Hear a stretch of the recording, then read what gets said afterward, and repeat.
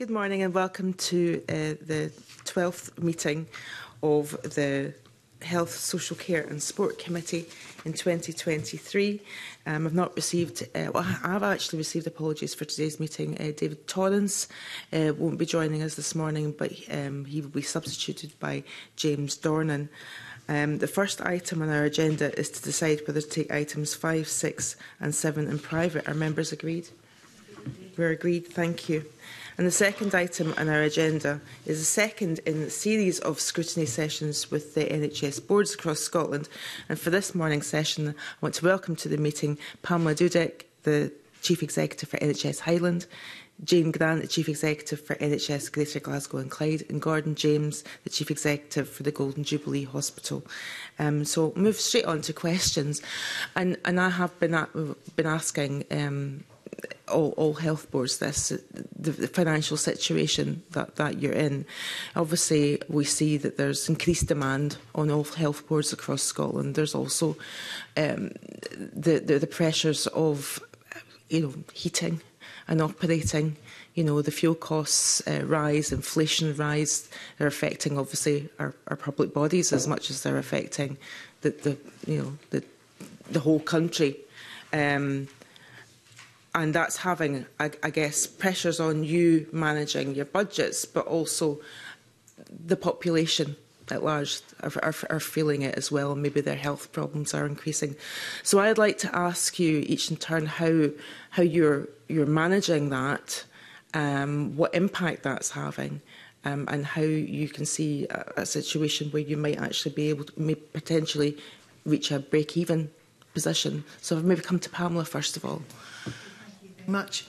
Um, so uh, you will see from our submission that our uh, predicted financial situation is is is fairly, uh, I suppose, is a bit scary in one one level in terms of the the size of of the the gap that we're looking to for the next three years and and trying to resolve that. Um, so that is a significant amount of money that includes uh, the adult social care uh, gap because we're a lead agency in Highland, but also a proportion of uh, the gap in Argyll and Butte as well. So that is our total prediction of the kind of size of, of the, the gap that we need to uh, uh, close. Um, I think, first of all, in terms of the work that we're doing around that, I think again in the submission we set out some of the value and sustainability actions that we're taking as a board, the efficiency actions, but fundamentally for, for us this, this has a big focus on redesign and, and delivering services and in a different way, working with our partners to try and optimise the, the wider public pound in, in pursuit of good outcomes for our population. So there is significant work underway in all of those aspects. Uh, either through partnership working, uh, programme boards, uh, looking at the evidence, looking at what we can do differently and indeed working closely with our communities. The sustainability in terms of uh, inflation, in terms of the impact of that, uh, with our energy, we saw a 35% hike last year and it, it's predicted to be around 20% this year. Uh, And again, we are engaged in as many energy efficient uh, ways of, of moving forward as possible. All our new builds will be built uh, to the net zero standards and we're doing risk assessments on any plans that we've got at the moment. Our new hospital in Aviemore, Broadford and um, the NTC were built to the standards that were in place at the time of those designs, but they are um, at, at the top of the spec for, uh, for that. Um, we are engaged with district heating systems in, in a uh, district heating system in Caithness, and we are hopeful that we'll be able to do the same over in Fort William. And there are a number of other initiatives that are underway through our sustainability, um, our, our climate uh, side of business, and, and what we need to do. I mean, the uh, Highlands probably the most fuel poor area of the whole of the UK. Yeah. Um, and this has been one of the most difficult winters for a lot of people in terms of are you, are you seeing an impact of that in the level of, of, of need that so, your patients are displaying? Yeah, so we've, we've had more of an, an anecdote response to that in terms of um, you know the, the reports that come in when we are seeing people in our uh, the front door hospital in terms of the difficulties for them and we're definitely seeing it through I suppose, the, the, the lens of, of children and families. And uh, the in-work poverty is, is quite prevalent and that, that's quite well evidenced uh, across the Highlands and, Ireland, and Ar Argyll and Butte. So, yes, we, uh, from a health board perspective and from a social care perspective, we spend a lot of time looking at access, looking at how we can deliver close to home, albeit that can be extremely challenging in, in, in certain circumstances. So we're looking at, the, at it from that perspective, but also we are one of the main employers. And uh, so what does that mean for our staff? So we have a number of welfare um, and support uh, arrangements uh, for staff and in collaboration with the council they've done a few initiatives around benefits and uh,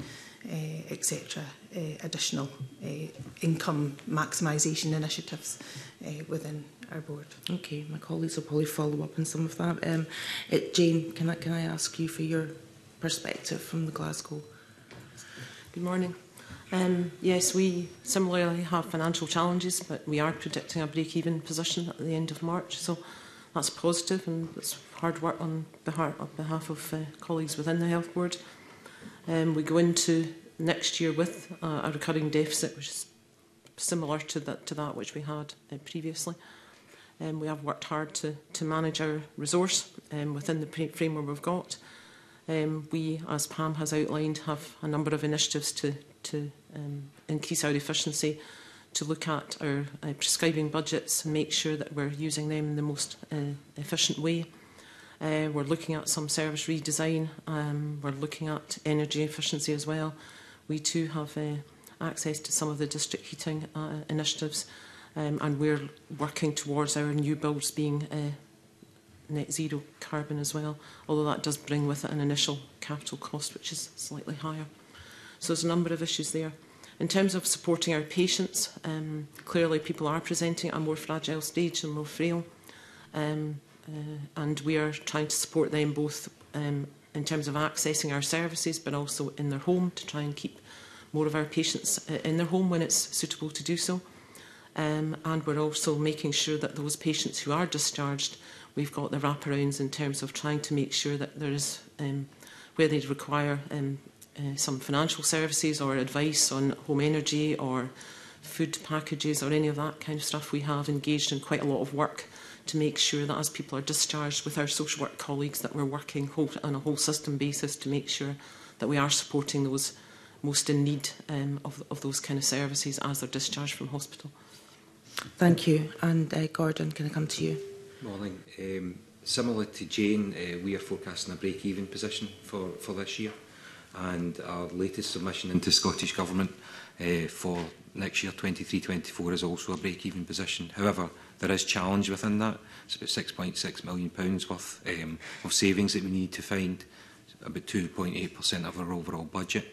Uh, we are working in a number of areas my colleagues have mentioned, uh, so like procurement, uh, like prescribing, and we're aligning with the National Sustainability and Value Programme as well.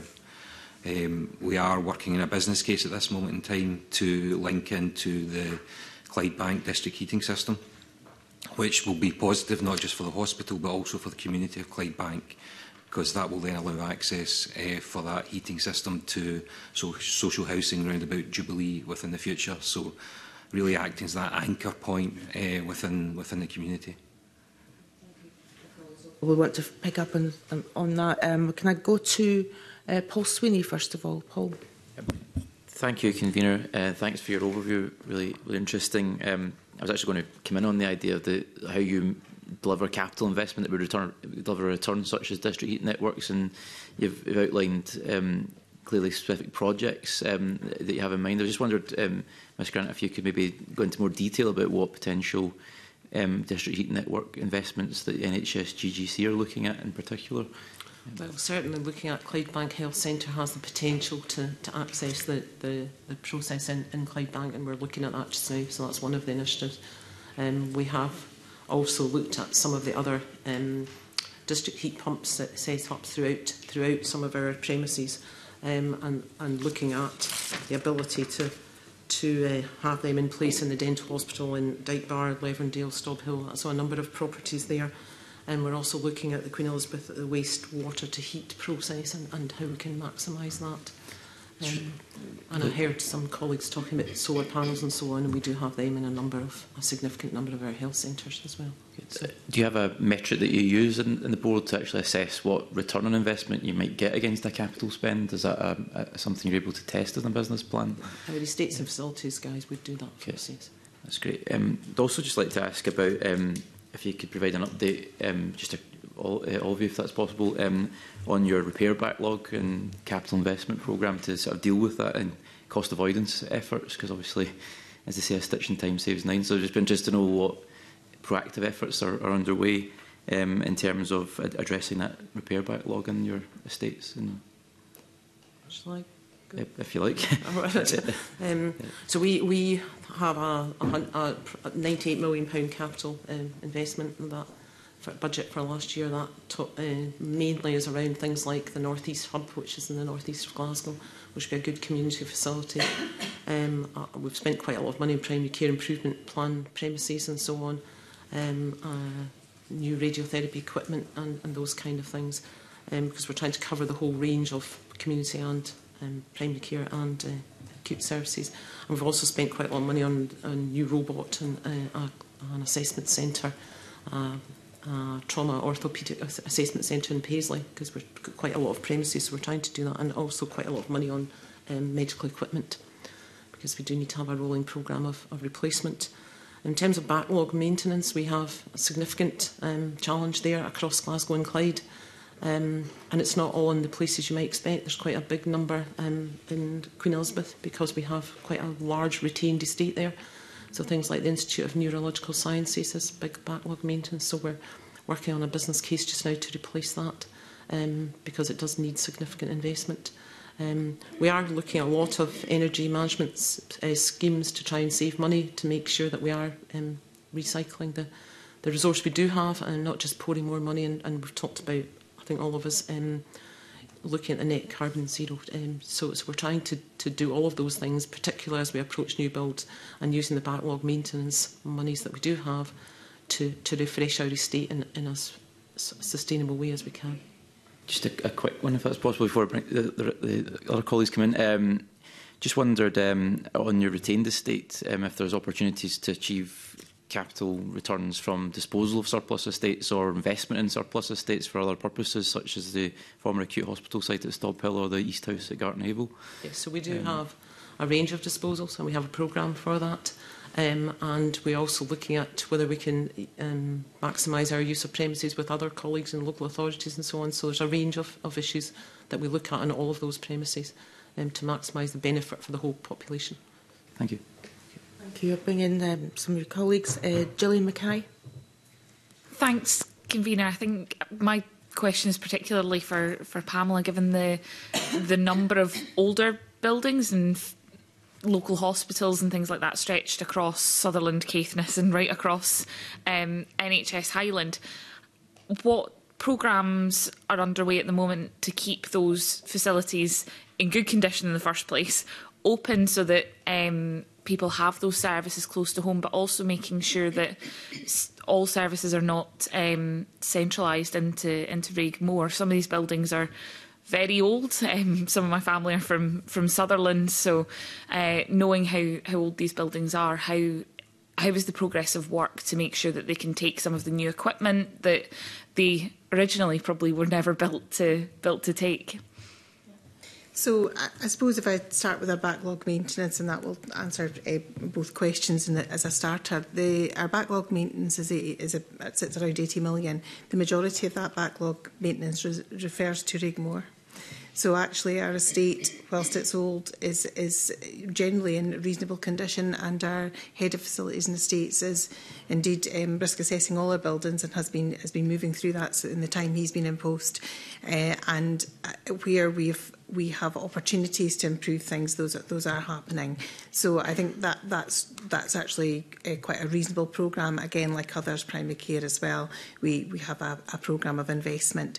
We take a risk assessment based approach to that, and actually our high risk now uh, uh, backlog maintenance is now under a million. So he has done a lot to uh, address that. These facilities, um, as you say, with the dispersed population that we have, uh, is critical for us to have sort of fit for purpose uh, facilities locally, but there is also a big question to us as to how we use them and how they are uh, modernised and the uh, not, not just in terms of the building, but what we do in them um, fit for the future because there is a, a real um, loyalty and a real um, connection to what's gone before. And that's the bit that we need to work hard with communities around because they, they often perceive the building as the, the thing that makes them makes it safe for them. And actually what's important is what goes on within the building. So as part of our strategy and redesign, that, that will be our focus and the buildings are enablers um, in pursuit of what it is we're actually uh, trying to do. But we do have some, you know, we've got Aviemore, we've got Broadford, two great facilities. We've got redesign capital project for Caithness and we've got uh, the Belford redesign and uh, new hospital planning underway. So actually, in terms of that state there, that looks good. Argyll and Butte, we are working with Argyll and Butte closely as to what else we need to do there. But again, having visited a number of their facilities, they have some really good facilities down there as well. So it's not always the case that they're forgotten and in the back of beyond and we, we're not doing anything about them. And I think the figures kind of uh, eh, uh, eh, support that. Absolutely. That's great. Thanks, Convener. Thank you. Um, Paul O'Kane. Thank you very much, uh, Convener, and good morning to the panel. And I think perhaps just following on on that theme, uh, so I heard what Pam said there about, you know, buildings as enablers and it's actually the quality of care. And whilst, you know, I accept that that is true, I, I wonder if I can just ask Jane directly on Greater Glasgow and Clyde. The repair backlog at the REH is now over £80 million. The uh, repair backlog at Inverclyde Royal is now over £100 million. Healthcare Improvement Scotland, in a recent report, pointed to the quality of care in Inverclyde being excellent, but actually the, the, the challenges um, were very serious in terms of the fabric of the building. I just wonder if you can say how sustainable do you think it is to run with an ever-increasing repair backlog of, of those scales uh, within those hospitals, uh, and does there need to be a more sustained capital investment from government in order to do something about that? So clearly we have um, uh, backlow maintenance requirements, capital crimes on all of our sites. And, and there's a large number of sites in Glasgow and Clyde, as you're aware, um, Clyde being a key element of our service delivery. Um, but I wouldn't single out Paisley or Inverclyde as being the key issues. It, it, it does require us to, to look across our real estate, both in terms of the acute sector and primary care, to make sure that we're maximising that. And as Pam says, we do do it on a risk assessed basis to ensure that we are using the resource we do have in, in the maximum possible um, way to, to, to ensure that we are covering the areas that, that are of most concern to our patients. I mean, we have everything in Glasgow and Clyde from brand new um, real estate to, as you rightly point out, those which are, are less so. Um, but we have spent quite a lot of money on all sites um, trying to refurbish areas within them. to make sure they are because um, they are fit for purpose. Because um, you know, in Queen Elizabeth we have single rooms, but in Glasgow Royal Infirmary we still have Nightingale wards, and in Paisley we do have four and six bedded rooms. So we've got a mixture here, and we just need to manage our resource in a, excuse me, in a risk basis. excuse me, to make sure that we're, we're using it as best we can across the resource. Of course, we could use more re resource, but we have to sit as a, as a board and, and prioritise those areas that uh, we feel are going to have maximum benefit to patients.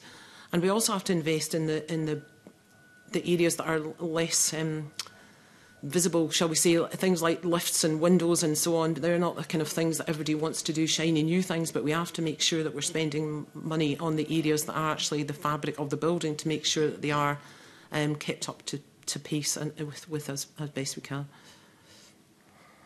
I wonder if I can just, on that point about running a repair backlog at over £100 million, pounds, I mean, do you think that that is sustainable? And given that Healthcare Improvement Scotland have said that there are substantial challenges to the safety and well-being of patients within that and staff, um, you, you know, do you think it is long-term sustainable to be running that repair backlog at over 100 million in, Inverclyde, for example? I think we, we clearly could do with more resource, and we would be happy to use that if we, could, if we got some. Um, but I think we have to, as uh, based on, on risk and, and uh, uh for my whole career, we've been juggling resource to make sure that uh, are managing the risk as best we can. The, the backlog maintenance number is high and, and we would like to have more resource, um, but we have to maximise what we've got across the board and that's what we're doing. Paul. Thank you. Um, I think it's fair to say that all boards uh, stratify their backlog maintenance into significant high, medium and low And if you look at the backlog maintenance in totality, this, the element that will be significant is very, very small. And as, as Jane mentioned, that's, that's where we clearly focus and then in our high based on that stratification uh, level. And, and that's part of all boards' property and asset management strategies. Emma, you wanted to come in quickly on this before we move on. Yep, just a quick question. Good morning and thanks for coming. It's a question for Gordon James actually. He talked about prescribing and I know prescribing isn't just medication. It's like diabetes tech, it's pumps, it's um, Abbott Libra, Dexcom, um, things like that. And I know that uh, it, it's how do you weigh the balance between the diabetes technology and then um, making sure that you know we um, avoid you know, poor blood glucose control. And I know there's a diabetes tech can't wait campaign going on there now. So I'm interested to know how you balance all of the avoidance of complications of type 1 diabetes and I declare an interest because I'm a type 1 diabetic pump user so I'm interested in how you weigh all out as far as prescribing and uh, and the costs of all of that. So uh, within Golden Jubilee um, we don't deal directly with uh, type 1 diabetic patients. I should also declare an interest. I'm type 1 diabetic as well, and I have an insulin pump. I don't know if that's pre-planned, but, but I, I do. um, so it was a, a sheer chance.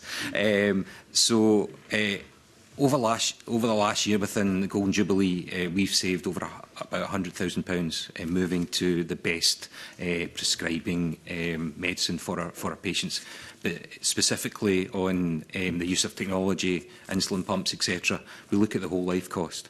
So what does it mean for the patient all the way through um, uh, their journey through health and through their life?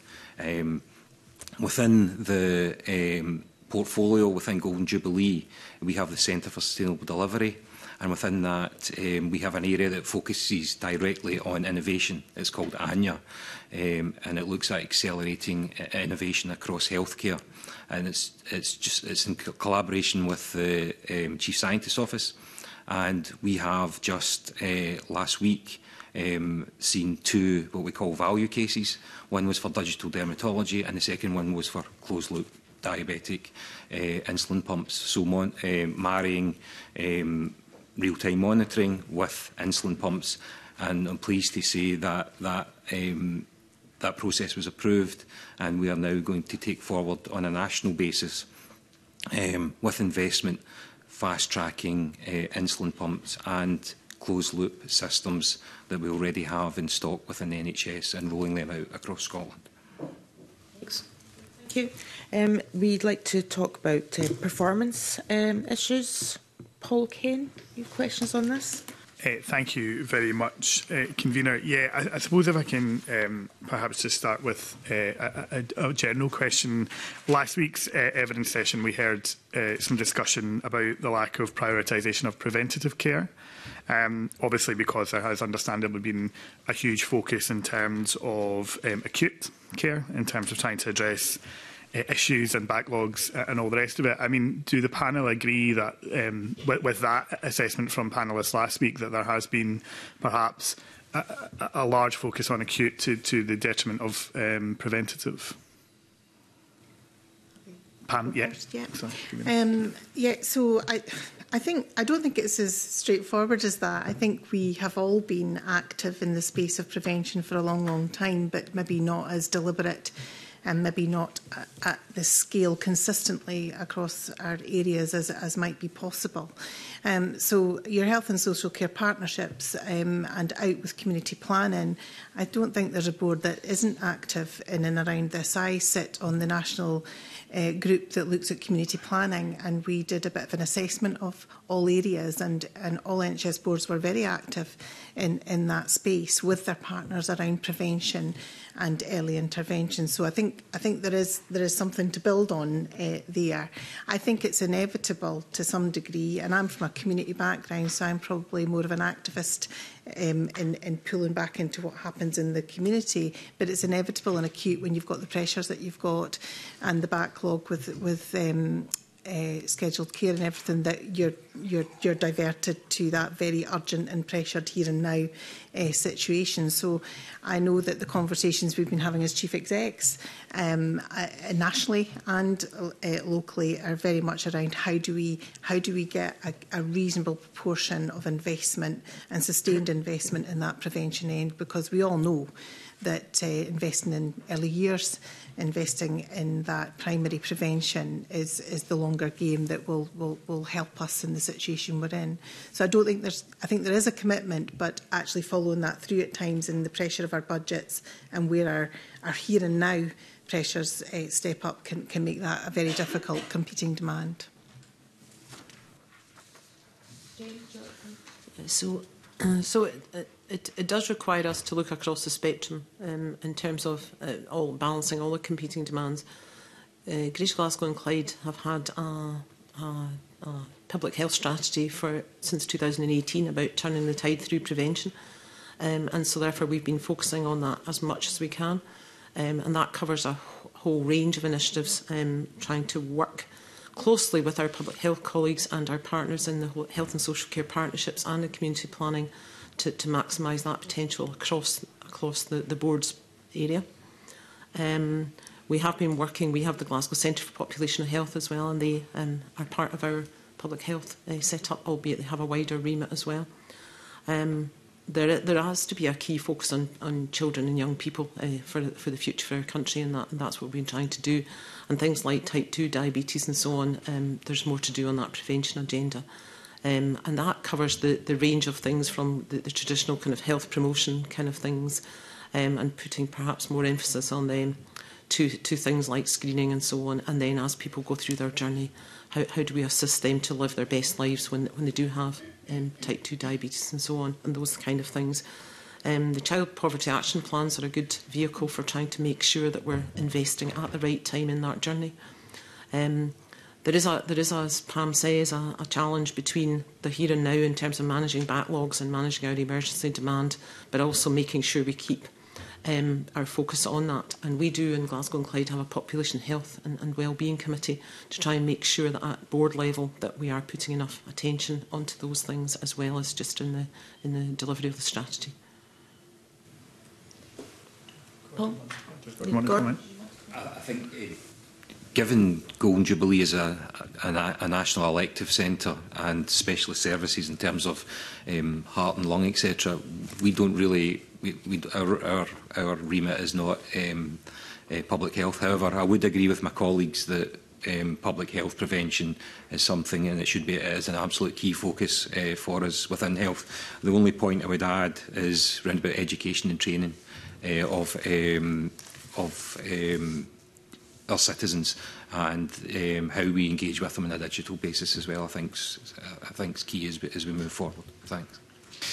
Thank you. Um, Convener, um, I wonder if I can ask about A&E, and particularly A&E waiting times, uh, obviously for the territorial uh, boards rather than, than, than Golden Jubilee, but obviously the four-hour standard hasn't been met uh, in, in quite some time, and we've seen indeed the worst figures on record uh, in 2022. So I, I wonder if um, both Pam and Jane could, could just perhaps explain your sense of what is that about a staffing issue in terms of A&E and, e and um, having the, the, the appropriate uh, amount of staff and resource in A&E departments? Or, or, or is it about kind of wider issues to do with um, where people present? Last week we certainly heard from some of your colleagues that um, they would rather people came to A&E than go anywhere else if, if, if they choose to present at all. But do you think it is about appropriate, uh, inappropriate presentations? So I'll um, happy to go, go first on that. I, I, again, that's probably wouldn't be the starting point. Speaking to our consultants in E, uh, they, whilst we do have a proportion of our presentations, and it can be about 40-45% that come under the minor injuries um, a uh, banner, if you like, um, the category, they, uh, they tell us that those are relatively quick and simple to deal with, and actually their their issues in terms of their performance comes more from the flow into the hospital, the access to a bed, and the time waiting to to move people into the hospital, and that uh, comes from a much wider system um, issue which relates to delayed discharges and relates to the care home position, the social care position and their ability to discharge earlier in the day. Um, so that, that's the area that they would highlight with us and, and certainly in terms of our performance, our rural generals can be very variable from you know performing to the standard um, at 100% to being down to on, a, on, a, on any given day. I, I've generally down to the 80s, but I have seen odd, the odd day where we've maybe had a major trauma or, or, or something out in the in the Highlands where it's gone down below that. But the, by far the, the biggest issue for Regmore is the being able to get people moved on in, into their next destination. And uh, in the rural generals, it's usually down because there's been some kind of trauma or major incident that has meant it's a little bit more to deal with than they would normally normally have. So uh, that that's what the consultants would tell me there. And in the wards, it's staffing, it's care home placements. We've lost 104 care home beds in the islands in, in, in recent months delayed discharge, yeah. Pam, you would say, yeah. a, uh, a key issue. I wonder if, if Jane might comment on Great Glasgow and Clyde. Of course, we, we have a range of, of issues within Glasgow and Clyde. We have kind of five main ED departments and we have a number of uh, minor injuries units as well. We would encourage people to use the minor injuries units where it's appropriate um, uh, and we, we do try actively to do that um, to make sure that uh, the, the main ED departments do not become logjammed with people who would be better served elsewhere. And we do do quite a lot of promotion around that, and we would continue to do that. Um, the, the main issues as for us are, are similar to PAM. We have uh, elderly, fragile people presenting at uh, ED departments. We spent quite a lot of time, um, and you'll have heard from colleagues, the, the flow navigation hub to try and reduce reduce the front door demand um, and to actually make sure that where virtual um, consultations are appropriate and only when they're appropriate clinically, then that, that, that is one of the issues that we expand our, our portfolio of offering for, for patients. That has been successful, but there's more to do. We've also looked at things like the mental health assessment units to take some of those distressed patients who require mental health assessment away from the main um, emergency departments and we have set up within Glasgow and Clyde some ad additional services which have proven pretty successful. Um, the key issue is, is one of flow principally and we too have delayed discharge um, challenges and we have around 300 on any given day across Glasgow and Clyde which is a fairly significant number. We're working very hard with our health and social care partnerships and local authorities to, to maximise the, the potential because um, sitting in an acute bed is not best for those patients, never mind the, the, those who are trying to come in. So there's a range of factors. Staffing sometimes is a factor. We've um, been pretty successful in recruiting in, in recent days some staff, but uh, there have been some staffing challenges as well. Um, but I would say flow is probably one of the biggest ones, but we also need to make sure that we we maximise our um, performance in flow one, which is the, the minors flow, where the, the major um, volume of patients comes through as well. So it's not one size fits all, I would say. I think it's a, a range of things that we need to um, to look at. And we are looking at how we can maximise and redesign the flow within hospitals in terms of um, that flow one, but also the glass flow model in terms of moving patients um, uh, using our predicted date of discharge um, more, more accurately, making sure we're maximising the number of discharges in the morning as best we can, using our discharge lounges to make sure that patients who, who are waiting for discharge um, are not occupying a bed while others are trying to get in. So there's a big range of things that we're trying to do at the moment, working closely across the whole acute system and also with our social um, health and social care partnerships. A oh, word I again, Uh, eh, just briefly, convener, um, through, Jane, you mentioned a number of uh, kind of alternative routes in terms of um, being being seen minor injuries, of course, and, and the board trying to encourage people. But it, it detects you didn't mention GP out of hours, which is obviously a key part of that as well. Um, obviously, Inverclyde has been without out of hours GPs since 2020. Um, there appears to be no plans from the board to reinstate that service uh, and rather to direct people, you know, um, 15 miles up the road in terms of, of the provision at Paisley. Um, do you think that that is, um, you know, good first, I suppose, value for money in terms of um, su supporting people to be seen in the appropriate place? And secondly, what kind of impact do you think that is going to have realistically on A&E front door when people can't see a, an out-of-hours GP in their, their community? And I suppose if you might be able to just give, give the reasons behind that decision. Of course. So, so the board hasn't taken a final decision yet. Um, we're still working on a number of um, possibilities for GP out of hours, and so we are still in business continuity across Glasgow and Clyde for the whole of Glasgow and Clyde, and that includes Inverclyde. Um, there, ha there has, as you know, been issues around Glasgow and Clyde's GP out of hours, and we've completely transformed the service. Three or four years ago, it was um, in, the, in the situation where you could just walk in, and that caused um, a, a difficulty because it wasn't an appropriate mechanism. It was probably, I think, the only board in Scotland at that time who did that. So we've completely redesigned that, and we do have a GP out of hours service in Inverclyde. We use um, there is home visiting service There is a focus for um, transport to Paisley if they need it, and there's a very large number of um, um, consultations being done through by phone now across the whole of Glasgow and Clyde, not just in Inverclyde.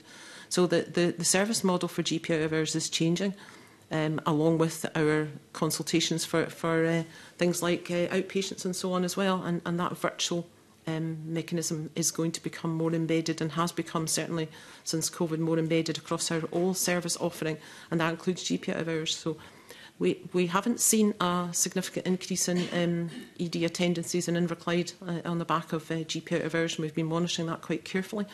But the board is still um, considering the, the options because we recognise there are strong feelings in Inverclyde about the services that we are providing. But I would suggest that we do have a service in Inverclyde um, for, for, for out of hours for GPs, and it hasn't um, increased the activity in the emergency department. Can I bring in Yeah, can I just add to that? Because I think, you know, out of hours has been a challenge for many, many years. I ran out of hours in another board uh, for many years, and it was a it was a, a constant uh, struggle in terms of sustainability and the configuration that it had. And certainly it's been no different coming to the Highlands. And eh, I think the bit that's tricky for us and the bit that we really need to work hard with our communities around is just that perception – um, of, of what is and isn't happening in their community. Again, a bit like what I said before in terms of what people have traditionally experienced and therefore they think any change means it's a, a reduction in, in service, it's a lesser quality service. And we have many conversations like that. In, in the Highlands, there are a number of communities who do not wish to use 111 and feel quite upset with us at asking them to, to do so when actually what we're trying to do we have we have a, an arrangement with 111 that can actually help us you know manage the postcode better and, and respond better with the with the local teams but for me there's something about building up that uh, um, confidence in communities um, that that and, and help them understand what, what what is a safe service for them. It, just because it's a change doesn't mean it's an unsafe service. And I think we have a lot of conversations with communities like that, and out of ours is a, is a key one that.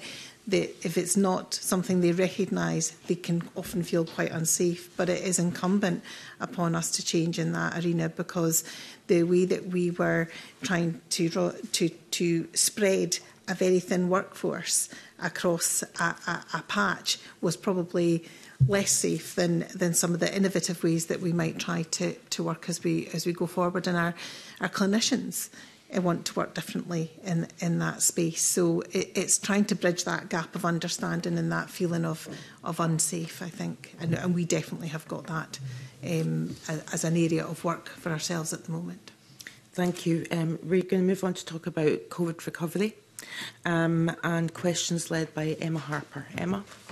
Thanks, convener. Um, so I'm interested to hear about COVID recovery in all three areas. And I don't know, I mean, just hearing from health boards when they come in front of us, you know, healthcare is really complex. You know, and, and I know as a nurse, that uh, when I worked during the pandemic providing um, vaccines as well, you could see just how how busy and committed and how professional the staff are. And, I, I, you know, and when I'm thinking about acute care and mental health care and emergency and elective care, and, and Jane, you said no one size fits all when you're trying to address the issues of trying to um, address COVID recovery. So I'd be interested to hear about actions that have been taken in order to um, progress recovery from COVID and is, what's working and maybe what isn't working. Jane, your microphone's oh, on, so we might as well go with you. And then, so in terms of COVID recovery, um, we, we are working hard on the, the elective backlog, as you would imagine. Um, There's a large backlog of patients who require to be um, treated. Um, and we need to balance that with the increasing um, or the or the very high level of demand for emergency care. So we're trying to manage both of those um, at the moment. Um, has been a challenge, and we're working hard to to uh, reduce the long waiting patients, particularly because, um, and we've had some success on that. More so in the outpatients um, set up than in, in inpatients, which has been a challenge because of the emergency um, demand over the, the winter. We've seen our length of stay being quite high in emergency care, which hasn't helped us.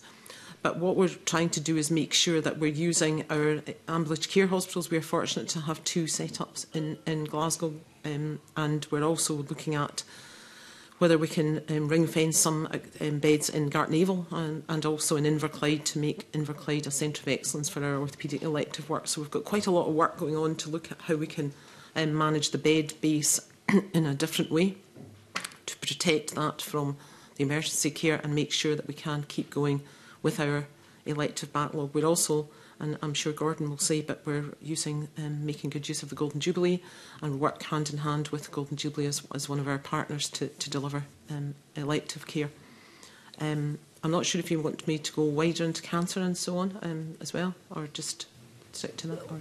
Um, I mean, uh, no, I, I suppose it's a it's a competing priorities with when acute care beds are occupied by people who are not well, and we're seeing the the acuity of patients are is it's they're getting sicker before we even see them in the hospital. So so I think it's just to make it um, very clear that there are challenges when you're juggling beds. So things like the Golden Jubilee and the it, just sequestering beds for elective surgery or the National Treatment Centre, for instance, Palma, will that should support managing elective so that we're not having competing bed priorities. Is that is that what we need to be looking at? we're also we're also yes you're absolutely right we're trying to make sure that we're making use of all the elective capacity we do have across Scotland to make sure we can maximise that And we're also looking at a number of initiatives to keep people out of hospital where it's appropriate, you know, increasing our remote monitoring and increasing our OPAT service and so on. And we've been pretty successful in, in delivering reductions in, in patients who could perhaps have a different service model. And I think that is the, the way of the future to, to maximise the potential to actually keep people out of hospital who are not best served. For doing that, we've recently done a day of care audit which looks at you know, is, is, is, is there anything else we could do for those patients who are in hospital, not just those who are delayed in their discharge, but and there's things um, we emerged around things like EHPs, and perhaps we could move some of those patients and have their EHP um, activity more in, in, in their home or in a community setting rather than waiting for some of it in hospital. So there's a few things emerging from that day of care audit which we are trying to, to minimise the, the bed days and make sure that those beds that we are using are really for acute patients. We've talked a little bit about delayed discharge, but also if there are things where we can do remote monitoring and so on and treat people more in their home then, or in a community setting, then that's what we should do. And, and so it's all of that, I think, that we need to do. And then Pamela wants to come in. Okay, th uh, thank you. So during the pandemic, a decision was taken to keep Golden Jubilee as a green site. So in terms of our planned care operation, we restarted about 10 to 12 weeks um, post the beginning of the pandemic, which has ensured that we've continued to offer that planned care uh, all the way through. And if I look at our uh, surgical throughput between 1920 and currently last, or the current year we're in, then we are seeing a 20% increase in our throughput of um, surgical services, both within um, knees, hips and eyes, and also within our specialist um, cardiac uh, service as well as, as Jane mentions, we do work with um, boards across Scotland and uh, support uh, patients who are waiting uh, or have long waiting times. Um, and uh, during the pandemic as well, we opened our phase one, which was our eye centre. And we currently do about 30% of Scotland's cataracts, so just over 11,500 will be done uh, this year.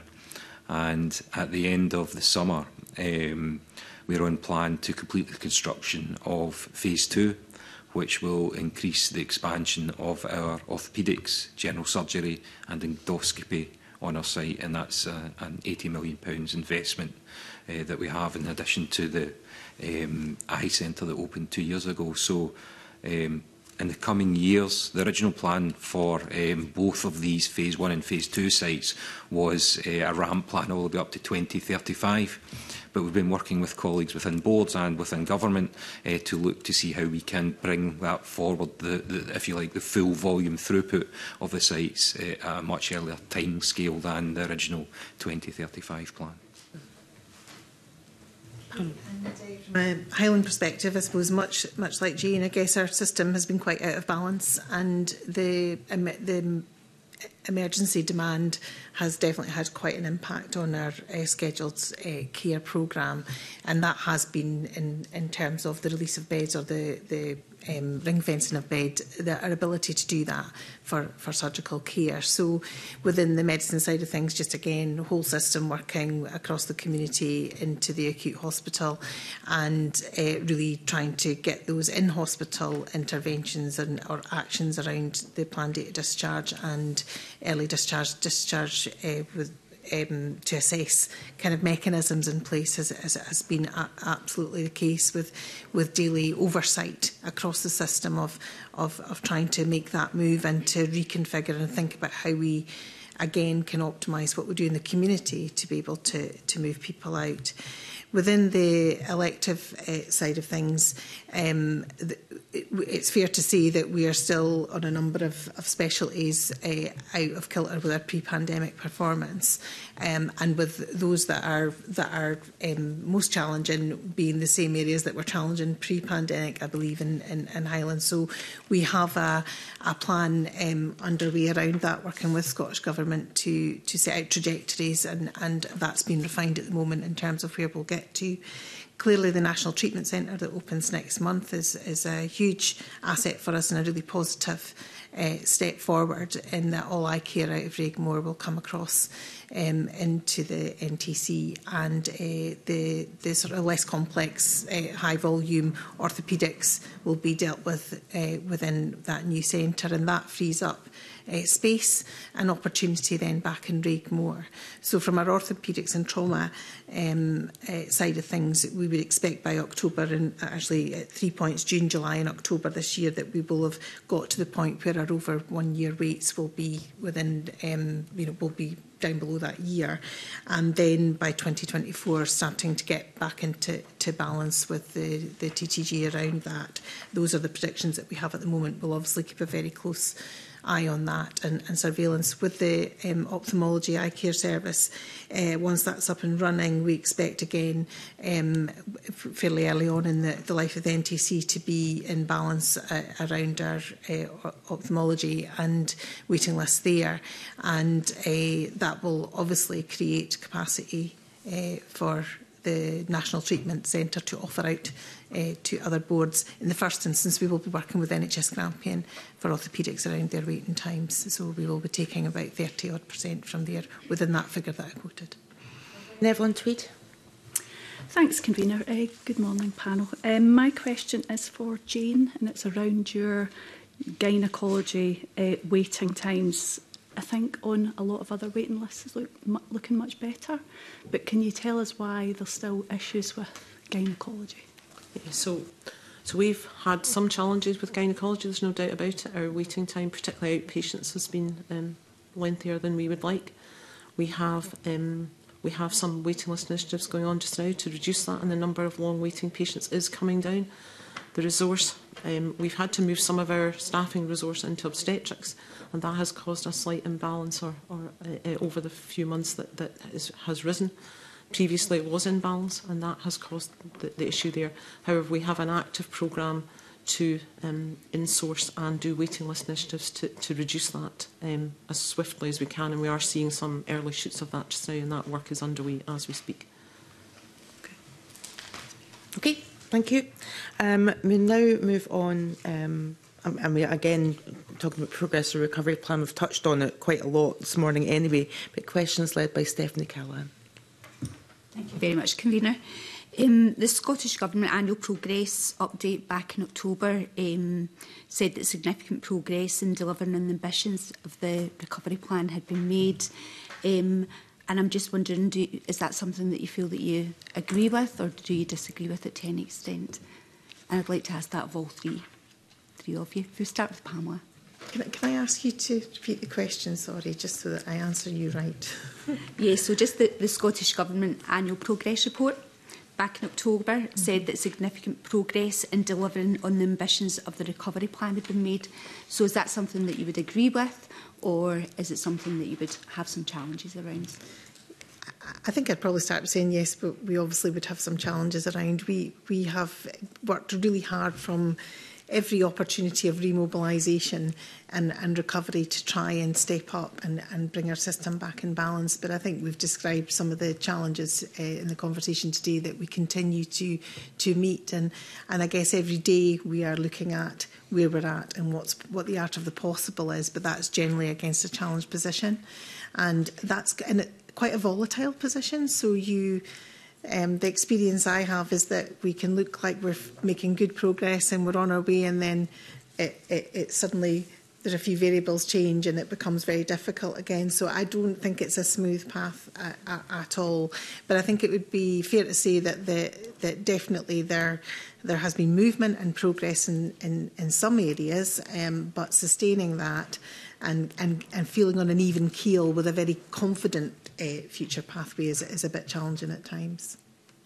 Thank you.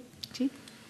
Thank you. Um, yeah, I think progress has been made. I think um, it's been a difficult period for the health service across Scotland and, uh, and more widely across the UK. Um, we, we have had to balance the emergency flow and the uh, fragility and fr frailty of patients, which is, is greater than it has been.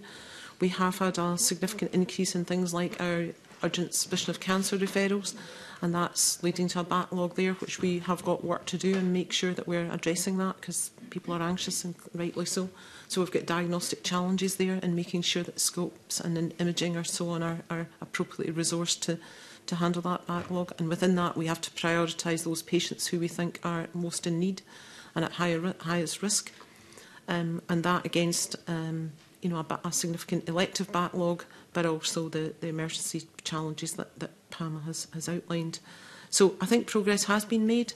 I think we have to reflect on our staff and, and recognise that they've had two or three years of really significant pressure and we're not starting from a position where they are um, they, they haven't they ha they have been through that difficult time and so we have to reflect on how how we can support them rather than just keep asking for more and more and more from our staff we have to think about how we can make things easier for them so we spent quite a lot of time just trying to make sure our staff are supported in an appropriate way recognizing that we have a public duty to to um, make sure the services that we are providing are swift and, and uh, we have access to them at an appropriate level of quality as well. But it's undoubtedly a difficult journey through through this. Thank you. I would uh, agree with my colleagues. I think um, pandemic has been challenging, not just for patients, but for all of us in society. Um, and obviously the added pressures uh, of winter over the past few months have been challenging. That said, I do think we have made progress. I think within the Golden Jubilee last year we pivoted to look at long waiting patients across Scotland and you'll see that the number of patients that are waiting um, for a longer period of time has reduced um, over the period. So I, I think we have made progress, but recognising that there are still uh, challenges within the system. Within um, Golden Jubilee, we have the Centre for Sustainable Delivery, and we have two um, pathways that we're working with specialist delivery groups across Scotland. So that's clinical and managerial groups across Scotland, looking at patient-initiated reviews and um, active clinical triage of patients. And that's really about putting patients at the centre. And what we've done through those two programmes is we've removed the need for about 100,000 patient appointments. So if I take myself as an example as type 1 diabetic, if my control is good, then I don't need to see a doctor. But if my control was then to go um, or uh, get worse again, then I can initiate that review myself. Um, so it really depends on the need of the patient. And I think these changing in pathways, how we transform our services, has helped uh, as, as we come out of the pandemic as well. You preempted my, my next question there, Gordon, and I was going to ask you about that. So I'm really interested in, you know, how significant is this and is this something that we should be looking at? Should there be some scaling up? Should we be doing similar things elsewhere? We already are scaling it up, so all almost all the boards across Scotland are um, engaged in PIR, patient-initiated reviews, and ACRT, which is uh, active uh, clinical uh, referral and triage. So, as I say, it's about 90,000 patients' appointments this year um, that um, haven't needed to be required um, but I would stress of that is based on clinical intervention. So there are senior clinical intervention is part of that process. And then within patient-initiated reviews, it's down to the patient to then re-engage with the service or have that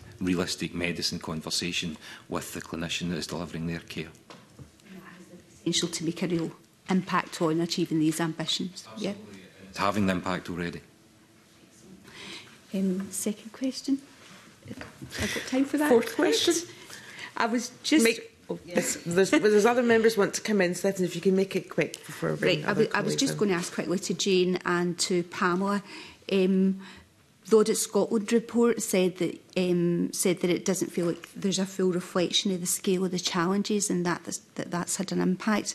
And I'm wondering whether you feel that's really accurate or um, whether you feel that actually some of the stuff had to be quite local, so there were those high-level targets and things. But did it, was it actually helpful or unhelpful then to be making decisions at a local level of what you wanted to do? I think it is really important to have that local aspect. I, th I think you need both. You need because there's a lot of learning and there's a lot of a lot you can take from from a national direction and support from a national direction. But the local context is is really important, and I think if, again, if you you look at Highland as a, you know 42% of the the landmass in and 36 islands and a very dis distributed um, population, uh, one size doesn't fit all, and the context is different, and actually the assets that you might have at local level are, are different. So that that local ability to assess that and also pull in partners to some of this work is is really important. And so we're always trying to balance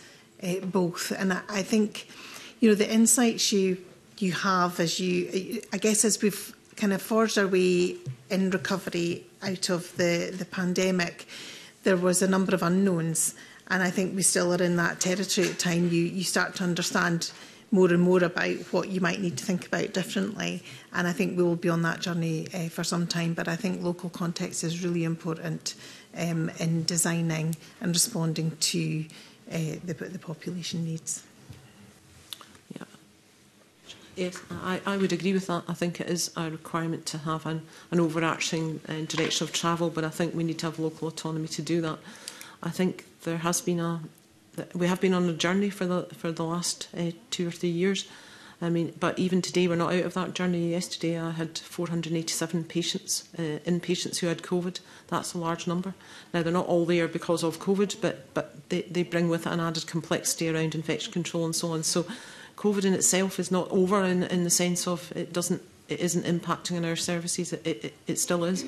So that means we have a number of closed wards and, and so on. So therefore our bed base is still quite challenged with, with that and we need to make sure our patients and our staff are as safe as they can be in that situation. And particularly in the wards where, as, as I've described, we have you know some Nightingale wards still in, in Glasgow and Clyde. And so therefore it, it still requires us to be and I think some colleagues said over here that it's a complex environment and it is an incredibly complex environment to manage that because we're still managing COVID um, in a different way. And, and but the numbers are still high, so it's not we we haven't finished that yet. Um, and also, I think we had a, a kind of perfect storm. I've, I've worked in the health service for quite a large number of years, and uh, you know over the the winter period, you usually get between kind of Christmas and New Year. The New Year, there's usually a, a, a lull or a, a reduction um, in the emergency demand. This year, there was certainly not for the first time in my, I think, my, probably my whole career um, because of the COVID and, and flu and so on, as well as the emergency demand. So this winter hasn't been what I would call, um, in, in my experience, a kind of traditional winter. So um, and, and we really are still only in March. So it's just it, you know it's just trying to get out of to, to balance all of those things. But I do think you need local and national. I bring in some of your colleagues. Um, Evelyn, do you have a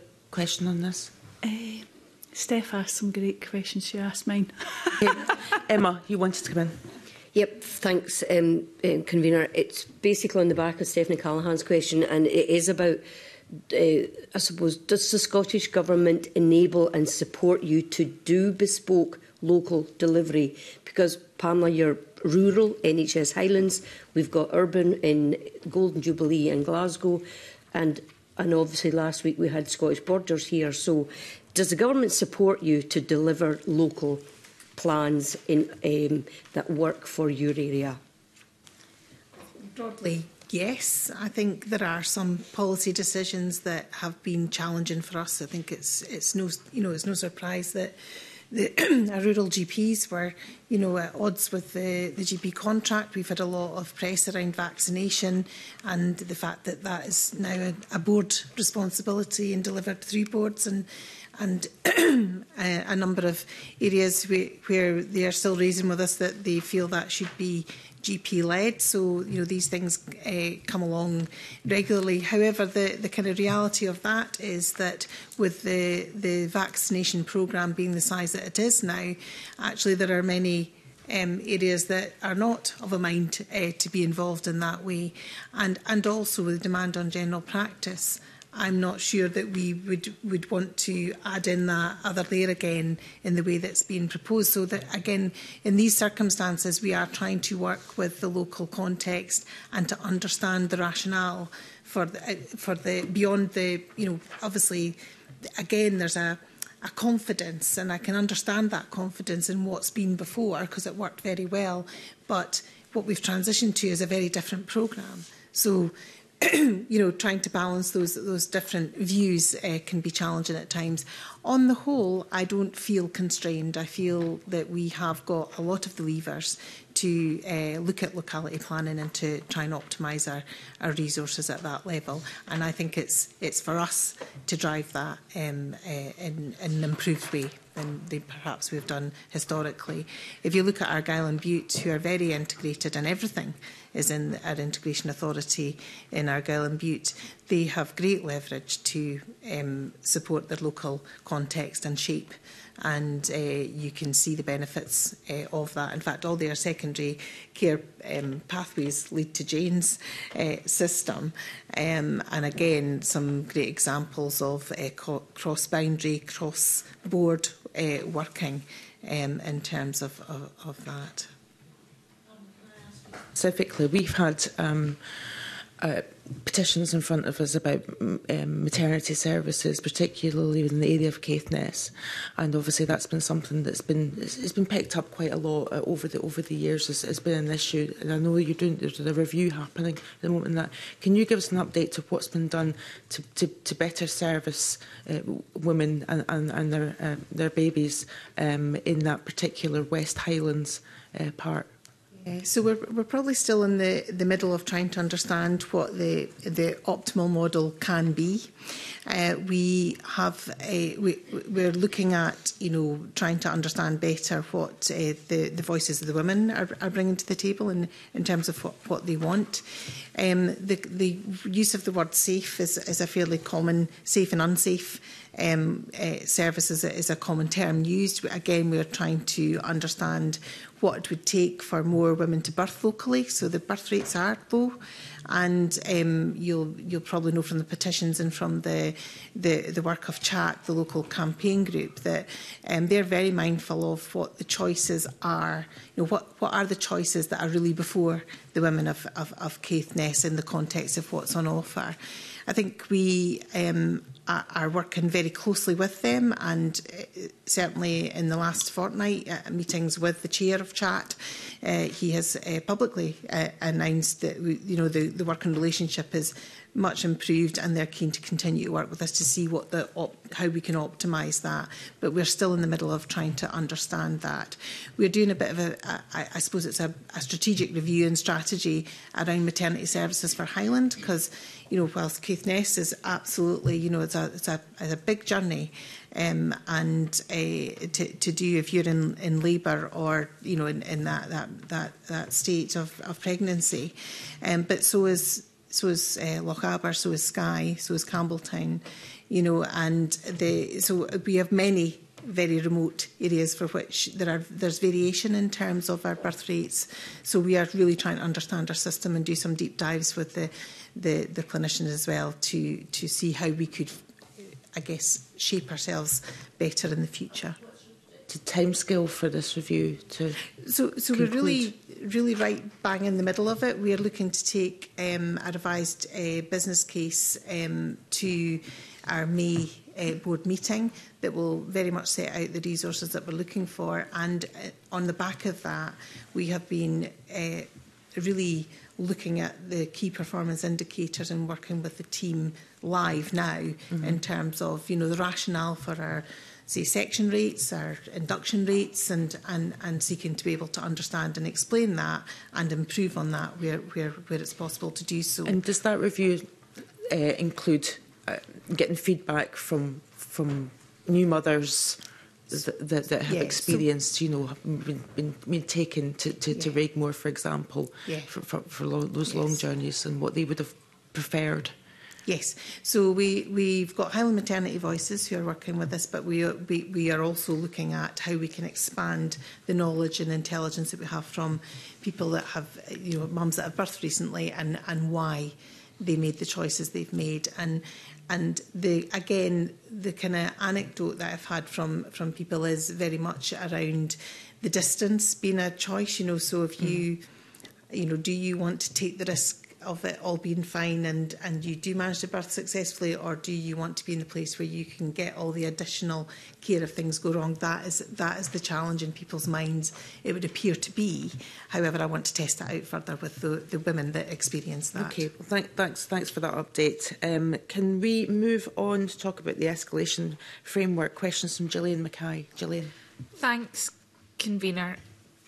How do... Um, the the boards feel about the the progress that they've made under the current escalation framework and the and the issues that they've been they've been escalated over. Yep, go. okay, so um, obviously we had escalation that um, that uh, occurred back in 2018, and uh, that related to finance and related to culture and uh, leadership. We've also had special measures around some of our mental health services, CAMS and psych uh, psychological therapies in particular. Um, so last year we were de-escalated from the culture and, and leadership and governance aspect, but remain on level three for finance and for the mental health uh, measures. So um, if I start, I'll start with the where we're still escalated and finish on the positive where we've been de-escalated. Um, so money is obviously the finance and resources resources is, a, is an ongoing challenge for us. We have worked really hard over the time. Certainly, I've been there. I've seen significant progress in our finances, and it's very disappointing that we find ourselves in the situation we are again looking into next year. However, we, we do have a capability, and we will apply that and, and do our best to, to, to move forward with that with a, with a confident plan. And we have a, a huge focus around that, as you can imagine, at the moment. With uh, psychological therapies, we've made uh, good progress. There is a very robust plan in place for psychological therapists, therapies. Our Director of Psychology that came in in a new leadership role has uh, deployed that very thoroughly and very well, and uh, we are making the right progress and confident in that plan with uh, CAMS. That has been a slower process. Uh, CAMS legacy, uh, waiting uh, list, and the model with which they were uh, delivering services which was not in line with the national specification and the staffing challenges that they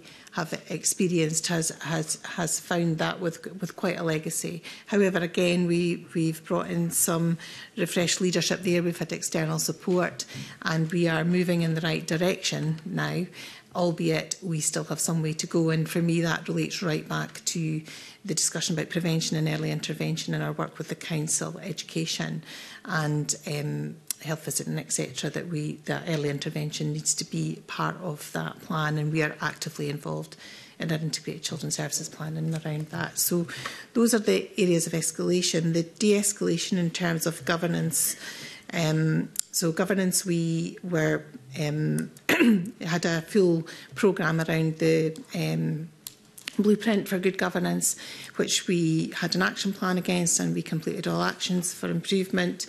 We are now a pathfinder for the self-assessment of the new um, blueprint and actually last week had our board development session um, in relation to the self-evaluation and uh, further improvement and I think that was a very positive session again was testimony to the work we've done and uh, how we can build on that. So a board that wants to continue to improve and, and, and move forward. In leadership, we have invested significantly in leadership across the organisation and we have a, a development programme in place which we're reviewing and improving as well. And uh, I think we have a very strong team in and around that. And culture, um, culture is always a funny one for me because when people talk about changing culture, I actually um, don't find that statement very helpful because culture isn't something you just change. You, there are many cultures in a complex system and um, many different ways that people work. What we need to be doing is creating the right environment where people can thrive and work well together.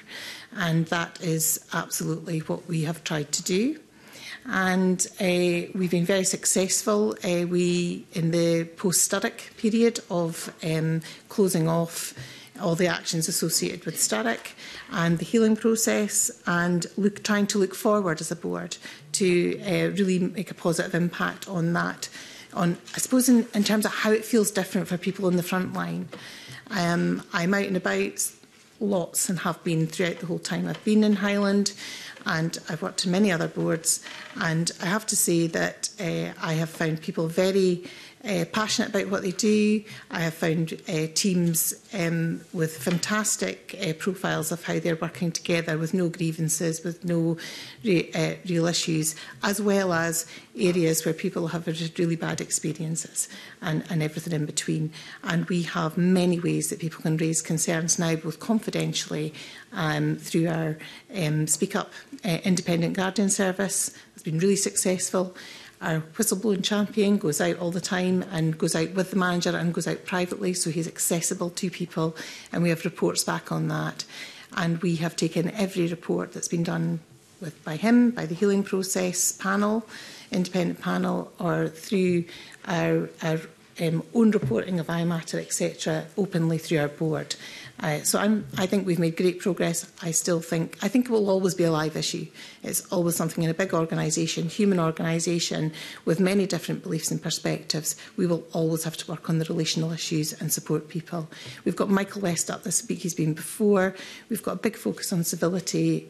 um, saves lives, and uh, taking forward um, work around team conversations and values. Culture is an area where I'm particularly interested in, given the the number of sites that NHS Highland operates across, the number of workers that will be potentially not really coming into contact with an awful lot of, of colleagues as well. I wonder how you overcome that challenge of making sure that everybody's voice is heard and that you're accurately hearing what is going on at, at different sites as well, given small numbers in places and the potential for some of those relationships to not be very good and people be much more easily identifiable if they if they do make a complaint compared to Greater Glasgow and Clyde, some of the bigger hospital sites we have in different places where I suppose raising concerns anonymously is slightly slightly easier. So there's a, there's a few ways that we're, we're, we've tried to do that. Uh, you're absolutely right. In those more rural um, areas where people are living and working together. So sometimes home life comes into work life, and that can be be tricky. Um, so we, we our guardian service actually go out and about and are present in a proactive and positive way within the, the, the services. Um, I think one of the last times I was down in Campbelltown, they were in the hospital present, and that is for that on that basis that they're not just somebody that comes along when there's a problem. They're actually there to give support and to, to hear the team and to, to, to be a, a conduit with us in terms of, of bringing that support. Um, and, and as I said, there's, there's also the whistleblowing champions. We've had a huge emphasis with our leaders in terms of the importance of knowing what's going on in their system and encouraging that open uh, uh, debate encouraging difference to be celebrated and not, uh, um, I guess, uh, excluded. And uh, we, through our performance frame, management framework, spend quite a lot of time on the people measures um, of sickness and absence, grievance rates, um, and the temperature of, of the team. And we are building up on that um, all of the time. And for one more convener. Thank you. Um, do you feel like you're receiving adequate support to improve not just the things that you're still on on level three on, but also those those other culture pieces to continue to continue making um, progress? And what other support do you feel needs to be needs to be in place to help de-escalate the level three things, but also keep improving on on the ones that are in level two? I, th I think we're getting very good support around the things that we that we we need to deal with, but the some of them are, are pretty tricky. I think the culture piece, it's really for us to to keep doing what we're doing and to build on that. Um, I think you know culture comes from the people that are in the system and how we all behave. It's for all of us to own, and and for us to who you know the, the kind of leaders in the system, both clinical.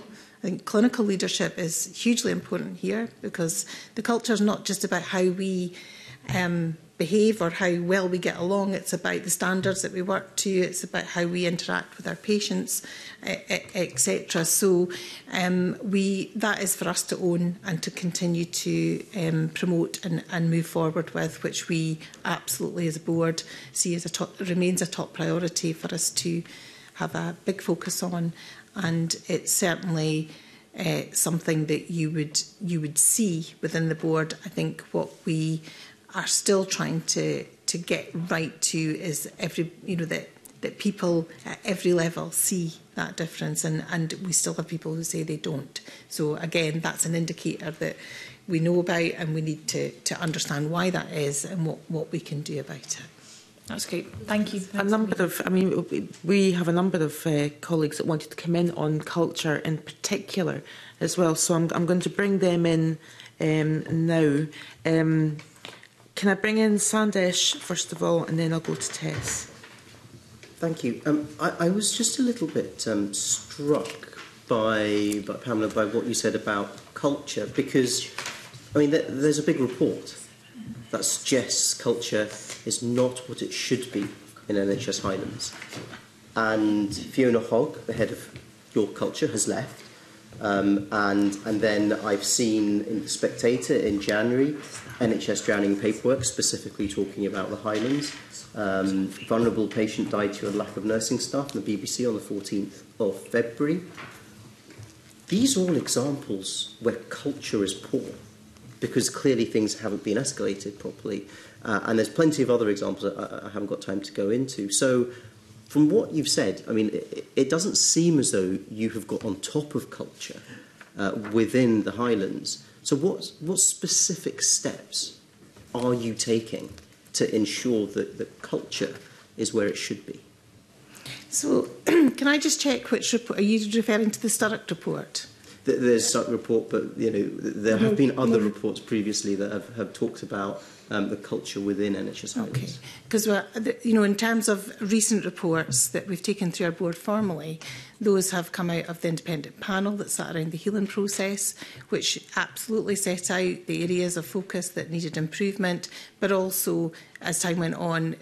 cited improvements that that we had made. So, I and and and the recent health and safety case, and I'm I'm not I'm not saying that there aren't ongoing, I'm, but by no means do I mean that there are ongoing cultural based issues within our health board, I think we will always have to work on the, the culture of, of our human system.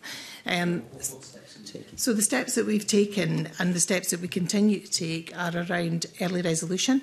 So being, being able to monitor and have surveillance of how our teams are, through a number of metrics, so sickness and absence, uh, grievances raised, and um, our iMatter and our listening and learning surveys, those, those sort of um, interventions are, are live and ongoing, and through performance.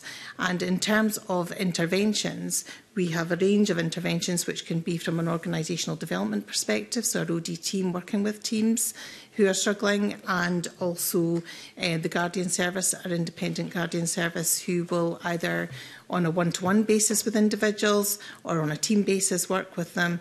And again, there is the, the, the whistleblown um, arrangements. Informally, we try to make ourselves all available at all levels to work through uh, some of those issues. And, and clearly, where we've had a serious incident like the, the, the death of a patient and uh, the, the falls aspect of that, we have used the formal processes of review and the learning uh, from that taken back into the organisation. Smith, um, and any questions on culture and governance? Over to you. I do. I have two questions, if I may, convener. The first question to Pamela and the second question to Gordon. And the first question builds on um, the uh, question from um, our convener on maternity services. It's the, the culture um, in the Highlands, and we have a petition that you referred to, and you also referred to the fact that you're consulting with women's groups, just, just to say we've heard loud and clear uh, from the women's groups in the Highlands that they feel like second class citizens, not just in relation to maternity services, but general women's health, including endometriosis. Uh, just your feedback on that consultation so that so that they know that you are listening to them and will follow up would be helpful. Thank you. Yeah, and and, and absolutely the, the points that have been made through that route and also through chat. You know, I have I see that eh, as it comes in and review it with the team and and our local team um, in Caithness and the the teams in more that are relating to those pathways are working um, much more closely within the locality around understanding those perspectives and looking at what else can, can be done. Um, so I'm very aware of it and we will continue to work with them and, and try to get to the, the right place. Great, thank you, Pam. So it's definitely on your radar and you're working with them and it's one of your top... I've, I've read that. We'll be looking this week at how we, re we respond to that. But Um, and, and certainly when I, uh, if I'm up in Caithness or any of the team, we try to meet with those people that we can face to face. Thank you. And my, my second question to Gordon. So in terms of the um, the employee uh, questionnaire stats, so we do have a copy of the different uh, health boards. And from the stats that we have, um, the Golden Jubilee Hospital is declining or below average. So in terms of, of, of staff governance and experience, um, what are you doing to address the uh, poorer performance in relation to how staff feel in relation to their well-being? So, so we're doing a lot of work around about uh, staff well-being. Uh, in January this year, we were the first board to launch a spiritual care, care strategy for Scotland and that puts patients and staff at the centre. So it's about love, kindness, and what it means to that staff member or the patient. So that's the first of its, ty uh, of its type, and, and we launched that in January. We also look at things like um, physical health. So we have our occupational health service, where um, again staff can self-refer through that. We have mental health, so we have mental health first aiders uh, who help staff uh, through any difficult times. We also run a series of events around about um, wider societal issues like finance, etc. And we'll, we'll bring on board the, um, you know, the Samaritans or uh, mortgage providers, etc. Again, to, to, to help staff. And we have the, as well as the whistleblowing that all boards have, we have the employee assistance programme where staff is a confidential line that staff can uh, uh, contact and raise any issues uh, that they have as well. Um, I guess the last thing I'd want to say is we have a spiritual care and uh, chaplaincy team. Um, they uh, speak to staff of all faiths and no faiths, as well as, as the public. And we are undertaking a number of activities like mindfulness, like breathing into the weekend. So we've got a full programme of staff events um, that we've been undertaking over the last year. Um, they might say that's, that's um, cure rather than um, prevention in relation to staffing. Staffing's a big issue, so having mindfulness and um, is, is not going to cure issues with staffing. Do you mean in terms of number of staff? People for well-being, yes, when they're coming to work and you know they're stressed because of issues other than. Yeah, so, so that's that's where why uh, we, we have uh, mental health first aiders, etc. Um, we look at um, wider uh, activity in terms of social well-being as well. So what's what's affecting the person within their their daily living as well, and then obviously um, how um, the staff member uh, feels within the workplace as well. So we do things like uh, swatch rounds, so um, where it's an open forum, people come and um, they can have a discussion about issues that are uh, affecting them. Uh, and that's an open forum, again led by our uh, chaplaincy team as well. We also have a volunteer team within the hospital that uh, support both patients and staff along with our uh, chaplaincy service. And, and does it just does it concern you that you've got declining performance and below average? I think uh, during the pandemic uh, we've seen a slight dip. Um, I believe as we go forward into the future years, given the work we're doing, we will see an increase in, in the numbers again. And we are absolutely committed to staff wellbeing. Thank you. Just to mention to, to colleagues, we've got, we want to talk about mental health services, we want to talk about staffing issues, we're still on governance and, and culture, the number of people want to come in, we've only got 20 minutes, so just keep your questions succinct, please. Emma? Thank you, Convener. We'll be succinct. Um, this is for, for Jane. Um, I'm looking at Greater Glasgow and Clyde's website right now, and there is loads of information about staff support and well-being and uh, from peer support, self-referrals, mental health stuff, even stopping smoking and uh, and speaking up. It says you're listening. So simply, how is that marketed to the staff? How do they know that they can access these services? um, basically from an education standpoint. So, so we have a variety of, of ways of doing that. We have team brief, core brief, which goes out. I send out a core brief every week, um, to outlining you know some of those resources. Uh, we send out regular um, briefs during the week, um, highlighting things to staff. Um, sometimes uh, issues are raised by our staff that they want to be put to put in those um, briefs, so that we are clear about that. We encourage line managers to have the conversations with their local teams to make sure that uh, that we have got that. We have a very active comms and engagement uh, department who actually um, work really hard to make sure that uh, when ideas come from staff as well that we're, we're doing that.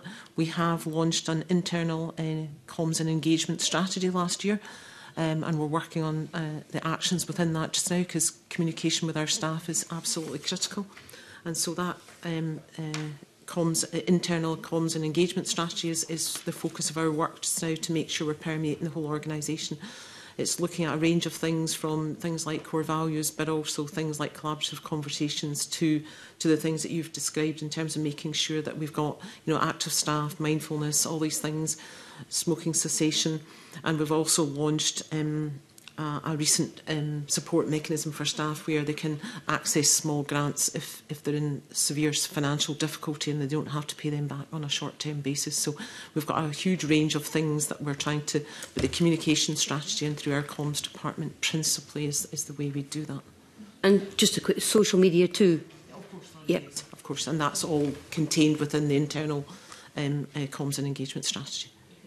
Thank you, Convener. Uh, Paul, you have a question on this and you want to move on to talk about staffing. Thank you, Convener. I suppose following on from that point, so um, Jane, you spoke about 12-month uh, previous and, and the work that's been done uh, in terms of what Emma Harper mentioned, but would you accept that in the past 12 months, whistleblower complaints in Greater Glasgow and Clyde have doubled?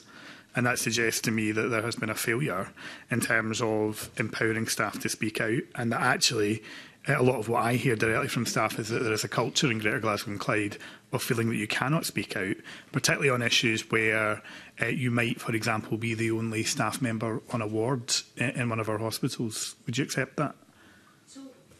we we have tried hard to to ensure that staff have access to whistleblowing processes. The Speak Up campaign has been successful, and I'm not sure whether you judge you know more more people speaking up or less as being successful to be absolutely honest because I am keen that our staff speak up um, it would be um, incumbent on us to ensure that the line managers and the appropriate mechanisms are supportive of our staff to make sure that um, they do feel that they can raise things locally but where they, they feel uncomfortable with doing that then there has to be a mechanism and our speak up campaign has been successful in that we've done a whole review Can I, I, that whistleblowing is a last resort for staff? Of, of, absolutely, absolutely, I would. And and what we have done is we did a whole whistle. We have a whistleblowing champion, as others have described. He um, did a full review of our whistleblowing processes, um, and there was an action plan developed around that, um, and we fully implemented that action plan and at um, our board meetings and so on, he was very positive about the actions we're taking on whistleblowing. But it's not something you can rest on your laurels. It's something you have to be proactive about all the time because we do want our staff to feel that they can raise issues in a constructive way and that they will be supported to, to raise those things where they feel that they, they want to. I wonder if we can expand this um, because we're interested in uh, retention of staff because what we're seeing is a real challenge in terms of being able to keep staff within their roles because of anxiety, stress, burnout uh, and associated issues. Um, staff in Greater Glasgow and Clyde have at various points described um, their experience of some hospitals as hell on earth. You know, that's a quote from, from a member of staff. Um, I, I, I, and I go back to that point about the single staffing of wards, which was um, it, uncovered at the Queen Elizabeth University Hospital, was uncovered at Inverclyde Royal, that that's happened on certainly more than, than one or two occasions. Um, much of this information was had, had to be uh, found through freedom of information. So uh, I wonder to what extent um, do you believe that that is a significant problem and how is it being dealt with at a board level? In terms of the one registered nurse on, on wards, we have spent we did have a, an issue with that, and we have spent an enormous amount of time trying to address that, and we've been reasonably successful. It's uh, much, much, much less now than it has been. We and we we have a regular reporting mechanism um, uh, that that uh, highlights areas where we have got staffing challenges. The, the key thing for us is to try and recruit more staff and to retain the staff we have got um, and, that, and there's a lot of work going on in that sense. And we've managed to recruit in excess of 200 international trained nurses to, to try and support our, make our staffing. We do have um, challenges around staffing, as all boards in Scotland do, and we're trying hard to recruit um, and retain more of them. It is incumbent on us to make sure that our turnover is low, and that means supporting our staff when they are in post um, and making sure that we are listening to, to those issues. Sometimes short-term sickness and so on makes those challenges very difficult. And as you've heard today, the, the COVID um, position does lead to um, higher levels of absence and has done, which has been difficult for, for us, and particularly in smaller sites where there's less flexibility.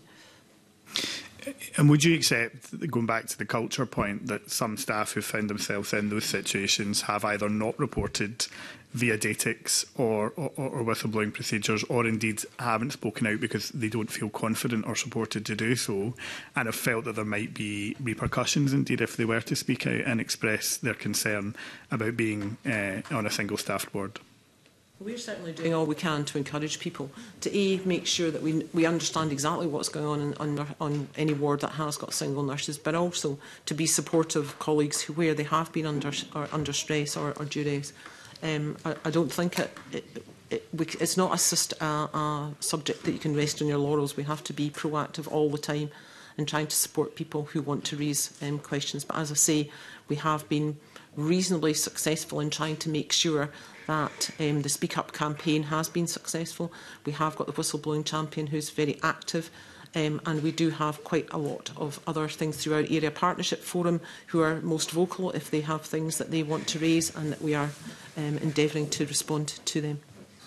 And, and I just wonder, is the board now being regularly informed about where this is still happening, if it is still happening, and the plans that are in place to tackle it? And is that uh, being shared uh, publicly through board papers and, and, and those sort of things, or will we require to FOI in the future to understand the picture? A lot of those things would be dealt with in our board committees because, um, as you imagine, a board with a £4 billion uh, budget is an enormous amount of, of activity at board level, but the board committees is where we do most of our um, business like that, and they are reported through there, and we do have the non-executives questioning and scrutinising the, the performance of the executive team. Okay, I wonder uh, just uh, uh, in terms of wider staffing issues, if I may, um, I, I, I think there's a particular issue um, about the National Waiting Time Centre and the expansion of staff. Uh, for you, Gordon, around um, there's a there's a need obviously to recruit a large number of staff in order to upscale. Um, do you think that the timescales and, and the plan there is realistic in being able to do that? So in terms of our phase two, so the new elective uh, centre, um, as I mentioned earlier, the original plan for the elective centre was um, roll out all the way to 2035. Uh, eh, what we're doing at this moment in time is we're looking to accelerate that plan. We've set ourselves a target to recruit about 250 staff by September and another 250 additional staff by the end of the financial year. Um, to date, we've recruited 120 of those staff um, and that's across different disciplines. There is a challenge, as my colleagues have said, uh, around about nursing and uh, some of the nursing workforce. Um, and we, like uh, Jane within Glasgow, um, are uh, utilising international recruits, and, and that has been successful. Um, we are also working um, with our sister organisation, which is part of Golden Jubilee and National Education of Scotland, which is the NHS Scotland Academy, which is hosted in Jubilee. And we're looking at different roles. So advanced practice roles, perioperative roles within theatres, etc., um, roles uh, prior to being a band 5 nurse so different roles and different pathways so I think that allows us a good opportunity to look at the skill mix that we have um, uh, to recruit if I can just be, obviously these national centres are absolutely crucial in terms of our recovery and in terms of being able to have people not languish essentially in, in, in a lot of pain. Uh, do you think that um, if we don't meet those staffing targets, then that jeopardises the, the expansion of those services? I think um, there's always opportunity for us to look at other, as I've mentioned, some of the different roles. Uh, what I didn't mention there was bank staff. We also have access to bank staff. We've got about 850 people on our bank that we can use, um, both uh, nursing and healthcare support workers. So we will look at all avenues to, to recruit staff to the targets I've mentioned. Thank you. Um, we now uh, would like to talk about mental health services. Questions led by Paul Sweeney. Paul. Thank you, Convener. Um, clearly a, a major feature of the outcome of the pandemic has been an increase in mental health conditions and, and demand associated with those services. Um, we have noted that the recent budget allocation of £290 million uh, for mental health funding restored the £38 million pound provision which was cut as part of the emergency budget review, which, although welcome, is still an effective freeze on funding in this area across the National Health Service in Scotland. And this I think is being compounded um, by the recent announcement, certainly from Glasgow Health and Social Care Partnership, of a £22 million cut to their service provision and the consequent loss of 197 positions. Um, I'm sure that will be carried on across Scotland. Um, I just would like to, to invite you to comment on whether you feel that this will have practical impacts on your service delivery and also is it a bit of a false economy across them the public service provision for mental health in Scotland that we're robbing Peter to pay Paul in many areas? I mean, that's my impression. Just wondered if it's something that you would share as Chief Executives, um, Ms Grant, initially. So we, we have been fortunate to have quite a large investment in, in mental health and, and despite the fact that we would always like to have more and more, um, we have had quite a lot of investment. One of the challenges has been the, the availability of trained staff to, to support that. Um, and what we have got to do is that the, the mental health spectrum is a, is a spectrum from, you know, self-support to EU, to um, peer support to um, what, what you would call traditional CAMS and psychological therapies. And, and one of our whole system um, Uh, uh, challenges is to make sure that we don't over medicalise and over um, um, impact. So we're working very closely with our partnerships. We work closely with psychological therapy teams and the CAMS teams, but we also work with local authorities and the third sector to make sure that actually we're signposting people to the right place, and, and that often isn't into health in itself. Um, so while we are not complacent at all, we've seen record numbers of people being referred into our services. Um, I think it is a tiered system that we need to in, invest in and make sure that we aren't just leaping to the, to the highest level tier. So our approach to that with our partnerships, including Glasgow City, is to work closely with the, the third sector, to work with the partnerships, to work with um, local authorities and a variety of other stakeholders to make sure that we are covering um, all, all of that um, because quite often it is, it's Pam's point earlier about prevention. If we can, if we can get to, to people to, to have that, that conversation before they're overly um, um, before it becomes a real mental health issue, then actually that that's what where we believe our investment be through schools and, and so on as well with young people. So there's a whole big spectrum here. But also where people do need that service, where, where that does require, then we have to look at, you know, how do we support people with, uh, and how do we use people with lived experience to actually help in, in those places rather than us just doing too. So it is a huge spectrum. It is a hugely important issue, and you're right to raise it because we we do need to make sure that we're giving this as much attention, if not more, than the the, the sort of physical health part.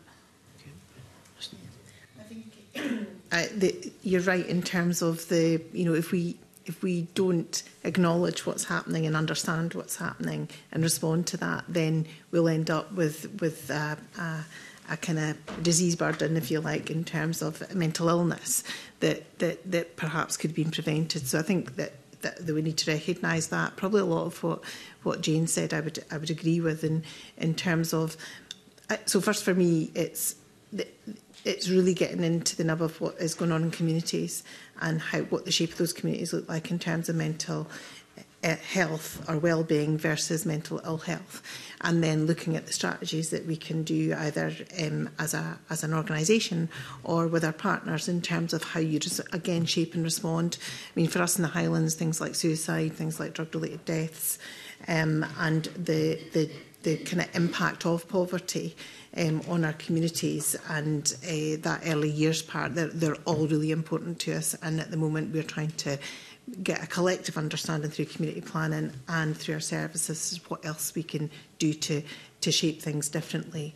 Uh, certainly at the the at the mental illness end of things with our um, kind of assessment, our assessment team that was put in place over a year ago. That's been very successful, and and also for our partners, the police and ambulance have been picking up, you know, some of the, some of that that workload and and not necessarily the right response. So we've been working closely with them and they are seeing the, the benefit of, the, of that too. So an awful lot to do and, and a lot to keep an eye on. But it, it, for me, it starts first with being sure that we understand what response we need and again not just jump in as, as Jane says to a medical response when perhaps there's a wider um, broader if you look at the Health Foundation's uh, report recent report about inequalities and leaving nobody behind that will be prevalent in there so we need to look at the wider factors to you that can influence how well someone does. Thank you. Um, conscious, Mr James, your board's quite specialised. I don't know if you have anything you want to say on this. Uh, okay. We don't have any mental health uh, services. Okay, that's fair. Um, I just wanted to come back on the point you make. I accept completely um, the issue about over-medicalising can often be counterproductive and maybe not appropriate. However, I'm looking at metrics here, and um, just to take Greater Glasgow and Clyde in 2019, if you look at child and adolescent mental health, 20,111 people had their CAMS referral rejected and then were re-referred by their GP. In 2021, 22,414 people were referred again after rejection question. Whilst taking on board your point about appropriate presentation and appropriate referrals and whether they are re required, a second referral could suggest that a clinician, i.e. a GP, believes that the patient um, needs that help and isn't getting it upon first asking and has then reiterated that referral. Um, is it the case that it's actually budgetary pressures that are then increasing the threshold rather than it being an appropriate judgment about clinical appropriateness? No, uh, that, we have refreshed our whole approach to psychological therapies and CAMS, and our rejection rate is much lower now. Um, and we, we do have increasing referrals, so that so we do have more people coming onto the waiting list. But we have invested in a huge redesign process, and we have invested in in uh, additional staff and different ways of doing things. And we're now, or we are now hitting the the access targets for CAMS um, after a period of, of instability, shall I say. So we have completely revamped that. We're now moving to a new model across Glasgow and Clyde because one of the issues was that in some of this CAMS is, is managed within our partnerships. Um, and for small partnerships, if, if some staff leave or, or they need a highly specialised interaction, then actually the, we, we didn't have the ability to easily flex across Glasgow and Clyde. And that is, is uh, being redesigned as we speak to actually maximise our potential to make sure that children, young people particularly, do have access to those services in a different way. So the CAM service has been completely redesigned, and as I say, we've been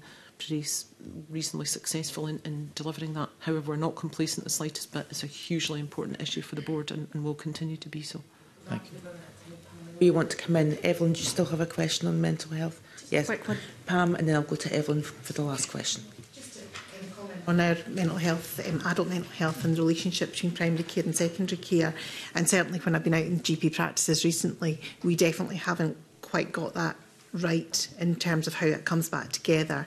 We, there's investment into primary care by link workers and, and community mental health uh, staff being more aligned uh, to practices, but we've definitely got room for, for improvement there. Just in, as you say, that that relationship between the gatekeeping that can go on that might be too rigid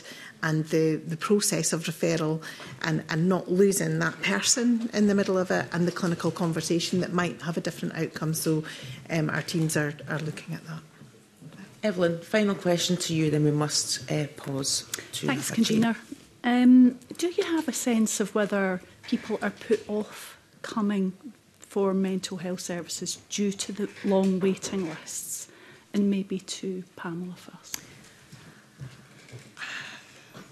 I suppose I, I couldn't give you a, a factual evidence-based response to that at this point. I could go off and, and have a look at that. Um, I would uh, suspect my back I'm a mental health nurse to background um I suspect there will be an element of that there probably has always been an element of, of of that that if it feels too difficult to navigate you might not see how you get there And actually, again, if you go to inequalities and people at, eh, eh, with greatest need are often in situations where it's very difficult for them to use services the way that we would perhaps set them up. And, and that, you know, I, my background was addictions and that was very much the case. That So there, there is always that challenge to us about how do you get to the people rather than expecting the people to get to you when they're in that level of distress and in that really difficult set of circumstances. So I, I think that's an ongoing um, piece that we that we will need to continue to work at. And I think it does come down to our capability and um, I suppose expertise at, at really considering the, applying access through an inequalities lens. And and again, our communities are often very tapped in to where we need to go um, and how we work with them. And I, I'm not saying we're not tapped in because I think we have really strong, certainly across the, the Highlands, we have really strong local community planning groups and community councils who are, you know, really good to tap into to understand those communities. But we still sometimes create services that are probably more um, service driven because of con because of the constraints of trying to deliver a service and don't always fully take account of how difficult it might be for somebody to come forward. Sadly, we've run out of time. Um, I want to thank all three of you for your time this morning for answering all our questions. We're going to suspend briefly to allow a change in panel.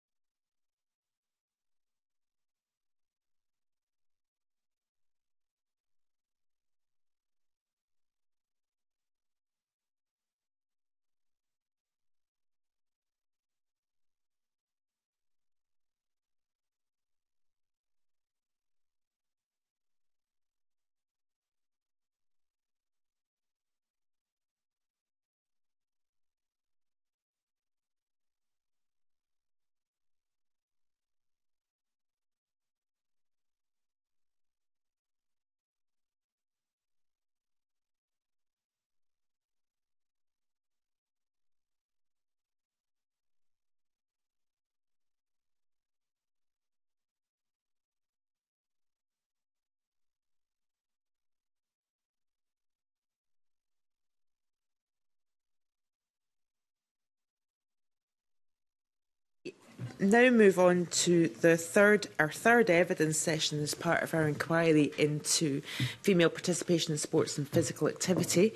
And this session is going to focus on children and young people.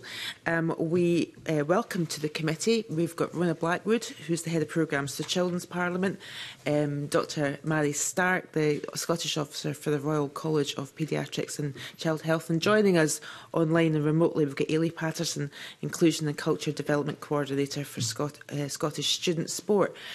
But before we move on to our evidence session and asking questions of our, of our guests, um, we're going to see a short film documentary that was sent to the committee by Daisy Drummond. Uh, Daisy made this video as part of our media studies exam in Drummond High School, Edinburgh.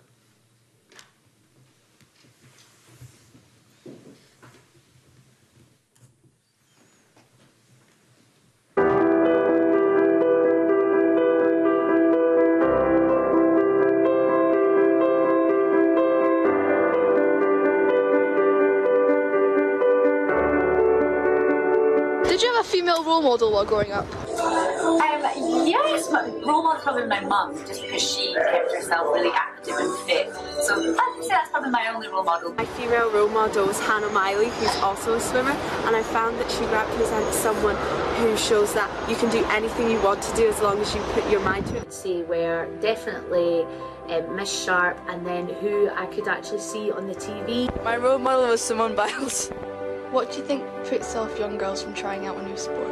I think one of the main reasons is stigma from the media, as often it represents unrealistic beauty standards that a lot of young girls especially feel like they need to meet. Boys.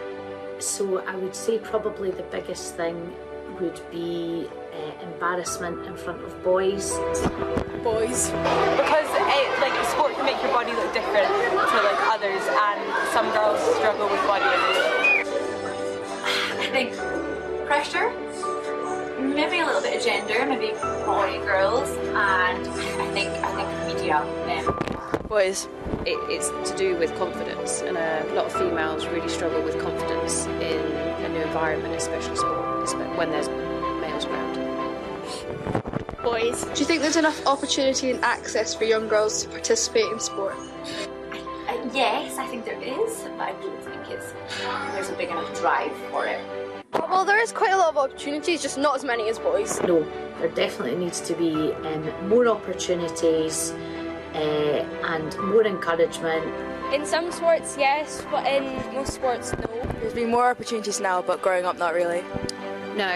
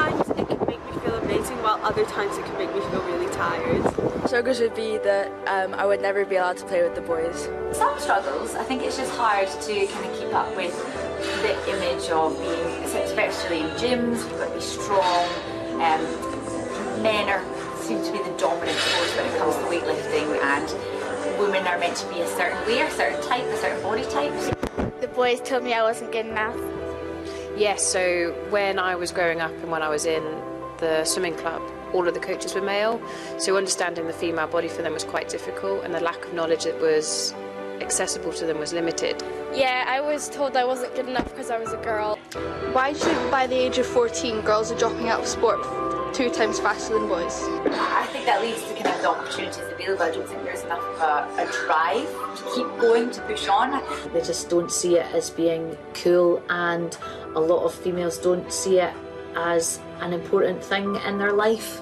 Um, it's more about looking good and not looking sweaty and running around and doing whatever in sport. Because there's not enough influence for us. I think as a girl growing up, it's really it can be really hard for us as we have to deal with things like our period and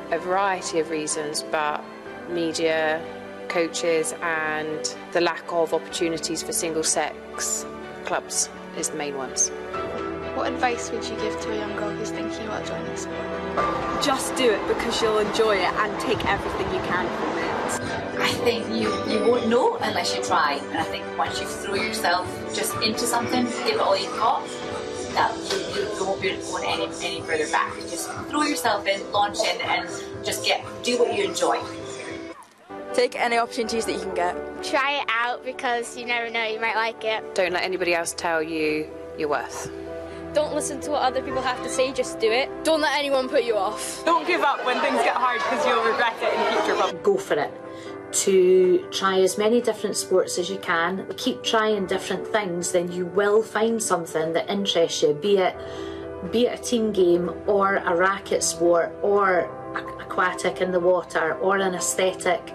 There's definitely something out there for everybody, and I would encourage all young girls to get this idea out their head that they are not as good as boys because I could run rings around the vast majority of boys when I was at high school. Um, and I think that they need to be confident about their bodies, their image, and just try it. You've got to try it. Um, because I am utterly convinced that there is something for everybody and it's such an important been such an important part of my life I will never give it up um, yeah Thank you so much uh, to, to Daisy Durman for sending that film to us. Um, I should probably say, uh, in a previous life, I taught students how to make television programmes. And I really hope that Daisy follows through in her career if that's what she wants to do, because she's certainly shown an immense amount of talent there. And what a great start to our session uh, today. Uh, really helps set the scene for this evidence session. So let's move on to talk, uh, talking to our three panelists around this. And, and obviously Daisy's film has highlighted quite a lot of the, the issues that, from the perspective of uh, young girls there who obviously enjoying sport and are actively involved in, in, in sport. But of course, there's a lot of girls that that happen to drop out of, of sport, particularly around about that adolescent age. Um, and I mean, I, I think I would like to start on a, on a, a sort of constructive question about how we address some of the issues that were highlighted in Daisy's film by these girls who were obviously you know, recognising the issues but still getting on with it. But for the, the girls out there who aren't maybe as active, how do we start to address that and get them to enjoy sport and physical activity and, and, and to, to engage more with it? So I'll, I'll, I'll start with uh, uh, Mary. Thank you. You hear me? Um, I think this is an extremely important issue, and I think we need to look at things through the ages. I think none of us um, don't understand the importance of physical activity on our long term physical and mental health. And some people may not remember how much physical activity actually we were all supposed to be doing. I mean, how many people in this room are doing at least 150 minutes of activity, proper activity a week? And out of the people in this room, are the men in the room more likely to be doing it than the women? Mm. I suspect yes. So we need to address this through the ages. We need to get the, the toddlers. They're supposed to be doing three hours of activity a day. So that means they need good play parks, they need forest schools, they need lots of activities to do. And then we go into primary school, and again, we need more activities so that all children, because there's less gender issues in the kind of younger children, get them doing things, get them active. And then when the teenagers come, they're, they're already doing the sports and and then do specific things for that group. And the, on your, vid, your video, I thought it was excellent video, re really enjoyed it. The first person said that their role model was their mother. Mm. Mothers are very important role models. Okay, so I go running with my, my teenager. I do sport with my go mountain biking, do stuff. But not all people, all teenagers have mothers that want to do all these things, but we need to get the mothers involved, you know, see what they want to do, the, the women in golf programs, you know, cheaper activities for women to do, Jog Scotland, all these things. We need to be investing in things that don't cost too much money. At the moment, sport is extremely expensive. If you want to do any sport, you suddenly need specialist shoes, you need kit. Even a basic aerobics class will cost you £10 a session, you know, in a, in a, in a village hall. So it's not accessible. And for young girls, if they don't see their mothers doing it and they don't see other women doing it, they think, oh, it's not for me. It's something that boys do, it's something that men do. Men go off walking up hills and doing adventurous things. There's a whole group of generation. My, my child has not been on a residential, an outdoor residential. He's had no outdoor sport. And the reason for that, COVID. There was two years that his P7 residential was closed and his S1 these guys will never get a chance of ever sitting in a canoe or climbing or doing anything because, oh, tough luck, you missed it. There's no catch up plan. And what about the swimming lessons? We're seeing many more children drowning in Scotland. And then we're hearing, oh, Perth Pool, oh, it's got a, got a year's, you know, not, not going to close this year. But are they going to close next year? What about the other swimming pools? Are they afforded to run? Are local pools closed? You know, there isn't that opportunity. So children need the opportunities both genders, and we need to put in really good, cost effective, so everybody can afford it. And if children get into doing it, then we can get them both boys and girls doing more sport. And then we need to look at these teenagers. What what is stopping them? A lot of it is they need to have different activities from the boys. They need to have different facilities. They need to have changing facilities. They need to be asked, look, what would make a difference for you? Because we know if we can get them into sport when they're they're teenagers then they will be still putting it in their 40s and 50s that's but i mean that came cl- uh, across very very loud and clear in daisy's film that a lot of the girls had an issue in do- doing sports with boys so we need to separate be, it at yeah. school you know and some of the schools that even have enough pe teachers my mm. boy's mm. not had pe for the last two weeks because there's no teachers mm-hmm. you know that's both sexes just sitting on their ipads doing something else because there are no PE teachers available. Yeah. So when, if they're not getting their 60 minutes in school that they're supposed to, how are they going to get it out of school? Yeah. We need local clubs for them. So if you had different things out of school that were just for girls, really put in that didn't cost them money, that they could go and be with other girls and do some sport at the same time, then then that sort of thing does help. Mm-hmm. Rona, can I come to you? There's no need to press your oh, microphone. I've got done for you. Um, we recently did a, a, piece of work around uh, gender stereotyping in education and learning, and access to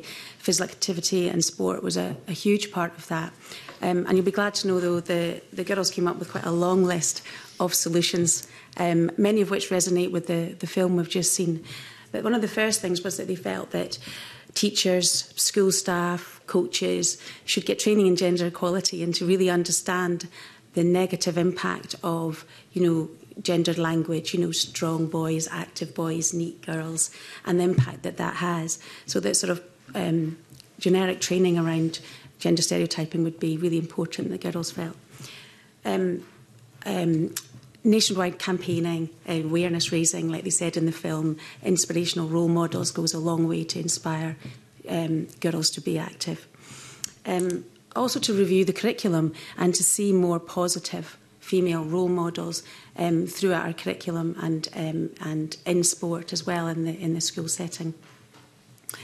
Um, girls also said that friendships needed to be encouraged. That one of the reasons why girls often don't take part in physical activity or sport is because um, they can't do it alongside their friends mm. or they don't have friends to do it with, and that puts them off. So really encouraging, sort of, and supporting um, the importance of friendship in that school environment is really important to then encourage the physical activity alongside their friends. Um, and whilst um, I think the, the girls we spoke to would agree that sometimes they want to be separate from the boys, that there is a real need to do sport and activities alongside boys as well and have sort of integrated opportunities. A really big issue is about playground space and that boys often dominate the playing field, the playground space, and if the girls want to go in and join in, that they're they're they're not encouraged to, they're not they're not allowed to, and that that's often not supported by the the, the playground uh, supervision staff. It's sort of allowed to sort of happen. So huge swathes of the playground is taken over, often by, by football, that girls will often want to play, but they don't feel able able to do that. Um, so that sort of supervision and that sort of trained supervision in the playground, I think, is really important. And the girls felt was really important. So gendered uniform doesn't encourage physical activity either. So the, the girls wanted to see gendered uh, uniforms removed. Um, and to have a lot of opportunities for have a go at sport, you know, to encourage girls to try sports that they might not often be, um, uh, um, and you know, like seen as being for boys or for girls. Mm. Um, so girls were encouraged to do football and basketball and boxing and sports like that. Um, and as it was said in the film, like things that really improve girls and support girls' confidence is important. Um, you know, sort of really celebrating and recognising participation and girls' um,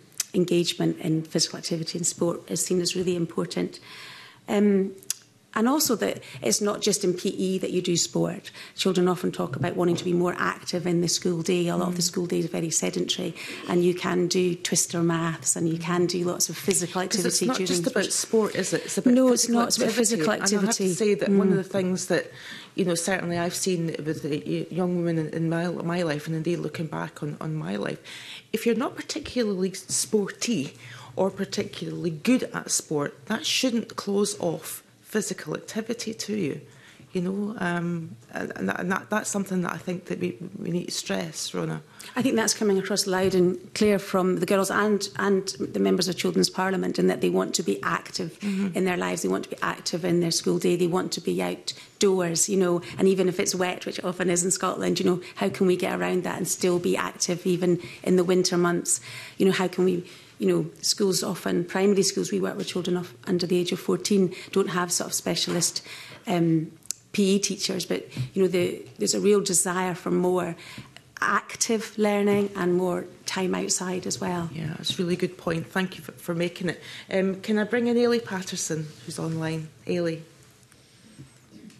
Good morning, everyone. Um, great to be here, although virtually. Uh, apologies about that. Uh, I'm co-delivering an event here in Lossiemouth, so I'm unable to be there in person.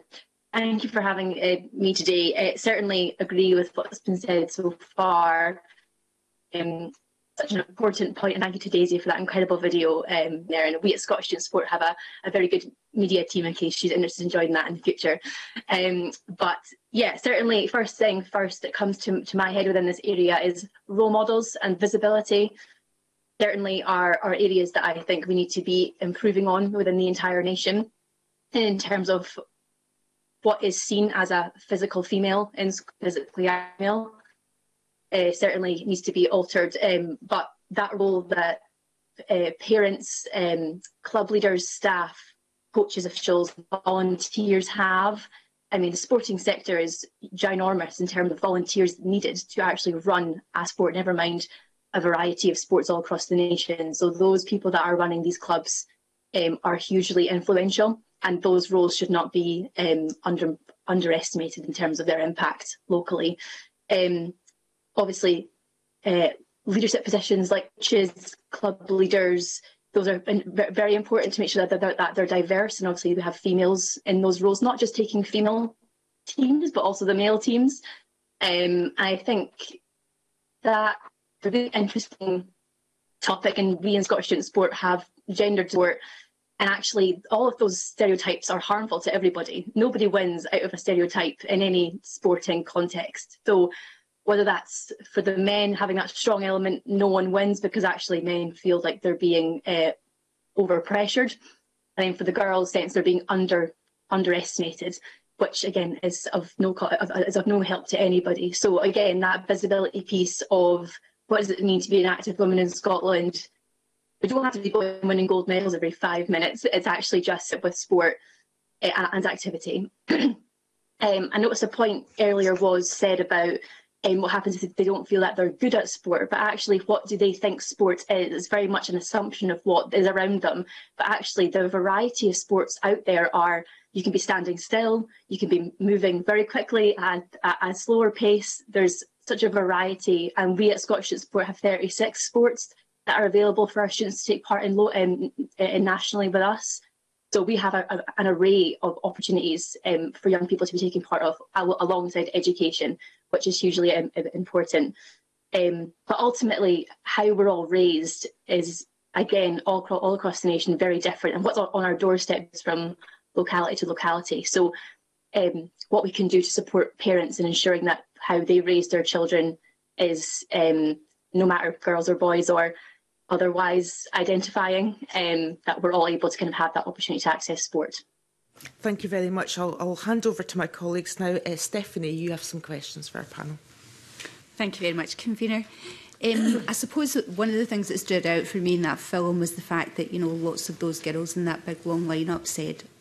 boys.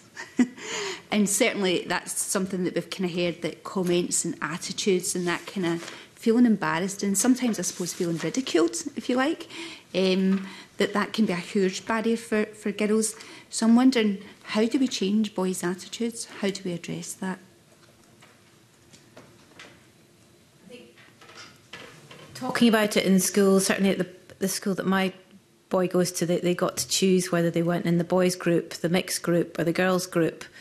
Um, and, you know, not all the boys are big physical rugby players and they don't want to do those things either. So there is that kind of middle bit and actually discussing and doing sports and things together at a much younger age before the gender issues become involved because if if kids are doing mountain biking or they're climbing or they're doing something then actually it doesn't matter whether you're male or female and they've been doing it for years and it just gradually goes with them it's some of these um, more team sports are much more boys or girls and it's having opportunities to do sport that aren't the team sports or not necessarily traditional sports um, and giving opportunities for doing lots of different sports. I know a lot of the schools, whenever it's Olympics, used to do tasters of all those different sports, but you know that only comes once every four years, and that's quite a big time between. Why can't they do it more often? All these different taster sports to see. Oh, actually, you could try all these things that you've never done before, and give opportunities to do something that maybe just a bit different that might might fit in. So you know, just talking to to the, the boys and girls and going actually, what kind of sports? You know, there is that kind of cool rugby group at at the schools. But not all the boys fit in that group either. So, you know, we're, we're gender um, pitching the boys as well as some of the girls. So it's just, and some of the girls want to be in the rugby team. You know, my boy's in a group of girls and boys, and the only one of them that plays rugby is a girl.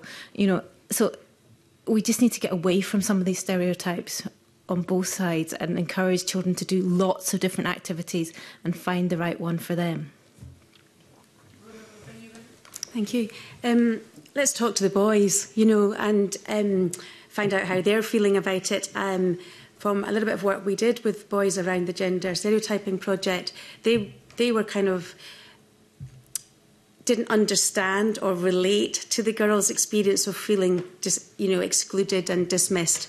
So I think there's a job to be done with boys sensitively around the that the understanding of the impact of gender stereotyping on girls and the impact that that has on the girls. So I think we need to talk to boys, we need to support the boys to understand maybe some of the impact of some of the collective actions. And I think we really need to encourage, you know, friendships between boys and girls in in our community and our school spaces. So it's not boys do this and girls do that. There's this sort of, you know, it's there's a friendship and a mutual respect between boys and girls uh, from a young age.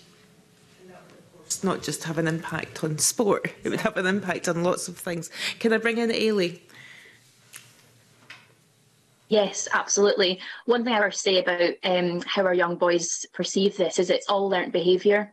Not one boy is born with any of these conceptions. It's all learnt behaviour. So whether that's from their parents, their community around them, or what they see on television or otherwise, um, it's all learnt behaviour.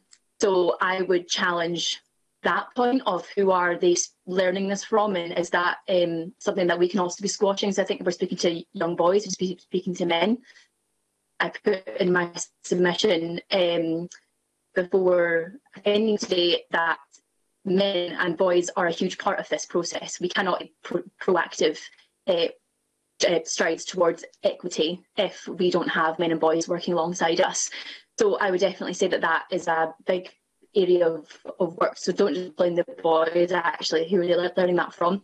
The media. If, we, if we look to the World Cup, um, it's called the World Cup and women's called the Women's World Cup.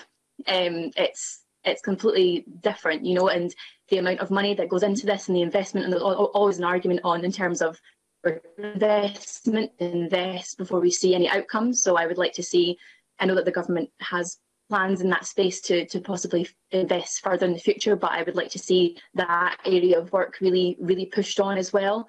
Um, and even having a video like Daisy's put on national television um, talking about this. Um, I think my video stopped working. Still hear you. I think we've taken your video off because you were uh, lagging a little bit, so it's best that we oh, can worry, hear you. Fine. So keep going, Ellie. okay, don't worry. Keep going. I'll keep going. Um, that's fine. And also, one thing I would also say on this point is um, bringing together of young people. I, I'm, I think Rona mentioned um, there's sometimes no need to be segregating our um, activity depending on boys and girls taking part. Actually, why are we doing that from a young age? Is there any point in particular why young people are needing to be segregated when actually in PE they're taking part together? Um, I think the segregation uh, eh, of, of gender actually sometimes encourages those negative thoughts um, instead of actually all playing together and seeing, oh, actually, no matter if you're boy or girl, you can you can play this sport very well. Um, and possibly look into education to bring in some kind of more diverse activities uh, one that comes to mind straight away is a sport called ultimate frisbee, which is running and using a frisbee to, to shoot in a net rather than uh, um, something like rugby, football, or netball, which has got quite a lot of different gender stereotypes around around it as well. But all of this comes down to societal culture um, and learned behaviour, in my opinion. I bring in the Emma Harper. Emma. Um, thank you, convener. Um, good morning to you. The question that came up uh, around stigma, I think, has already been answered. That was one of the things that came up from the Mary Erskine School that uh, that Stephanie Callahan and I were actually able to get some feedback from the, the young women about their experiences of participation in sport. Um, but I'm interested in what you were saying earlier, Dr. Stark, about about uh, you know start young because we introduced the Daily Mail in 2012 in Scotland. So I'd be interested if you know, is that being sustained? Um, are the schools still growing in delivering a Daily Mail? Because that is simply about. Uh, you know, the kids don't even need gym kit or trainers for that. They just basically get out the classroom um, on days that are nice Scottish weather and, uh, and you know, participate in a daily mile uh, of both genders. Mm, I'm a great um, supporter of the, the Daily Mile. I think it's a, a really good initiative. Um, the thing with it, though, is it depends on the individual primary school. Um, and when I said to our, our local primary, to the headmaster, why don't we do the Daily Mile in this school? It's a great initiative. He says, I don't think we need it here.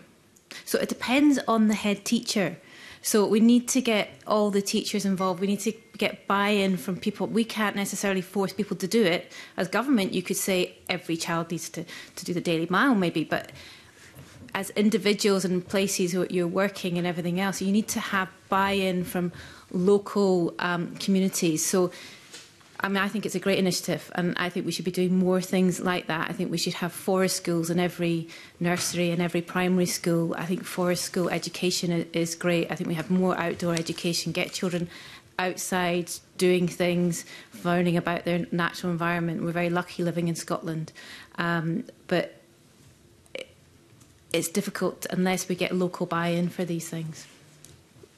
Okay, I've got a question that I can always ask later. It's about um, other research.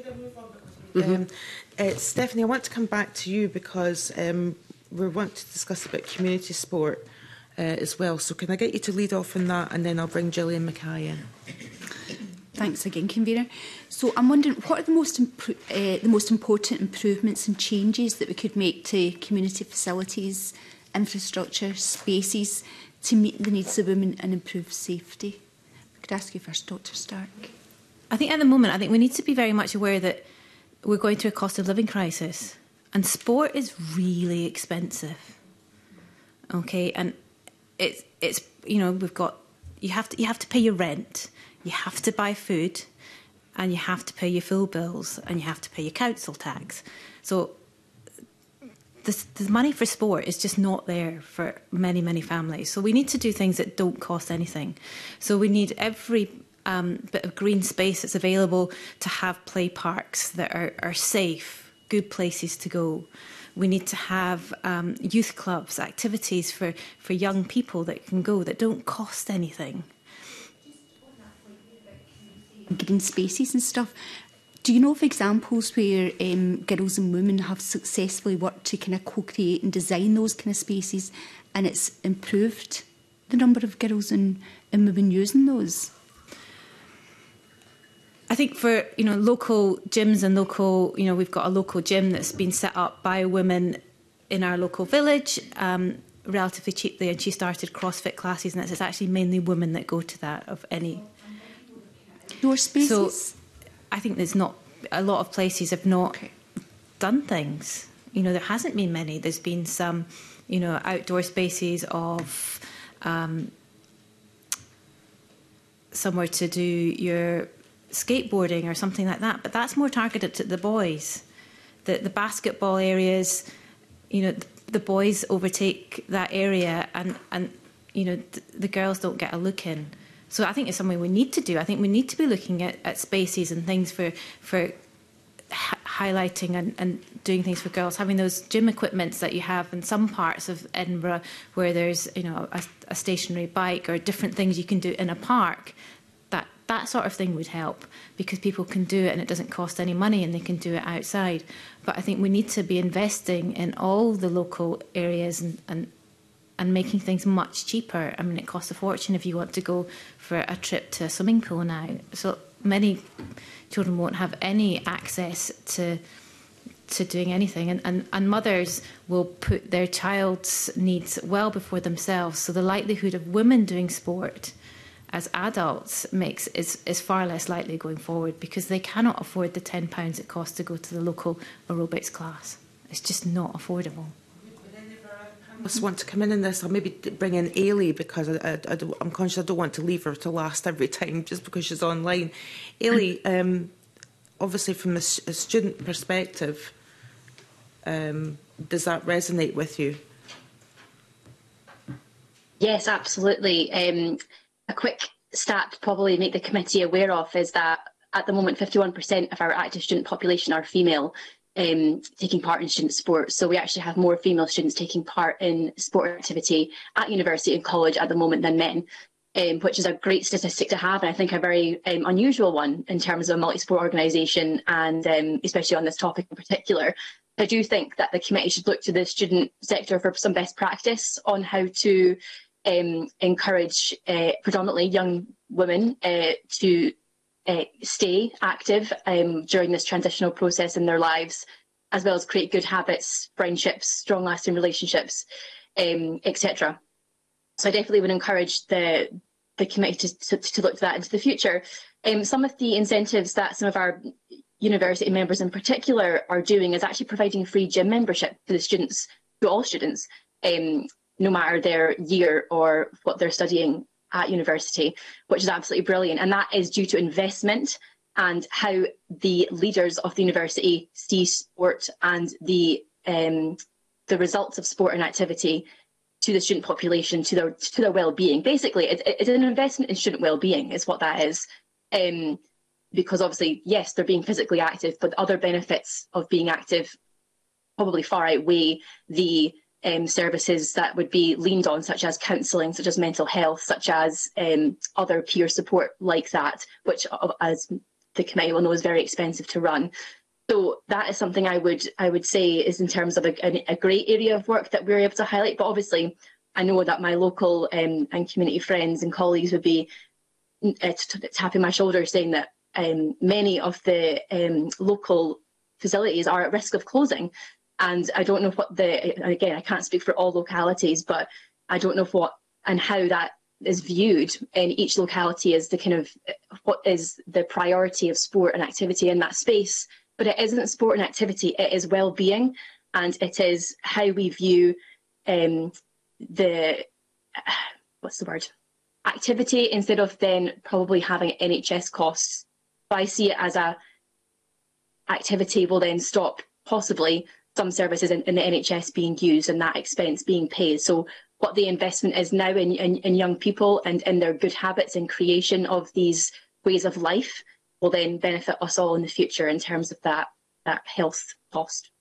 Absolutely, and that's effectively why we're doing this inquiry, that, that very piece uh, about preventative measures. And, and uh, Rona, I don't know if you want to come in on, on Stephanie's question. Just briefly to say, I think it's really important that we go back to ask children, you know, the co-production approach is important. The, you know, it's really important we go back and ask children what they want, how they want it, what it looks like and feels like for them that to take a rights-based approach to it. Um, and also to add that the cost of living is having a huge impact on children's anxiety and on their well-being. They're worried about their carers, their mums and their dads, and they're very aware that they can't take part in clubs and activities. They can't ask for the cost of kit and uniforms. Um, and that's, so they're not even, you know, it's a huge barrier to participating is the is is cost and the mm-hmm. financial implication. And and can, if, if I may, Stephanie, I'm just saying, obviously, uh, um, Mary, you come from a rural area, I'm getting that loud and clear, but there is access to, to green space on your doorstep. You know, Rona, you must see in, in the urban areas that's just not the case.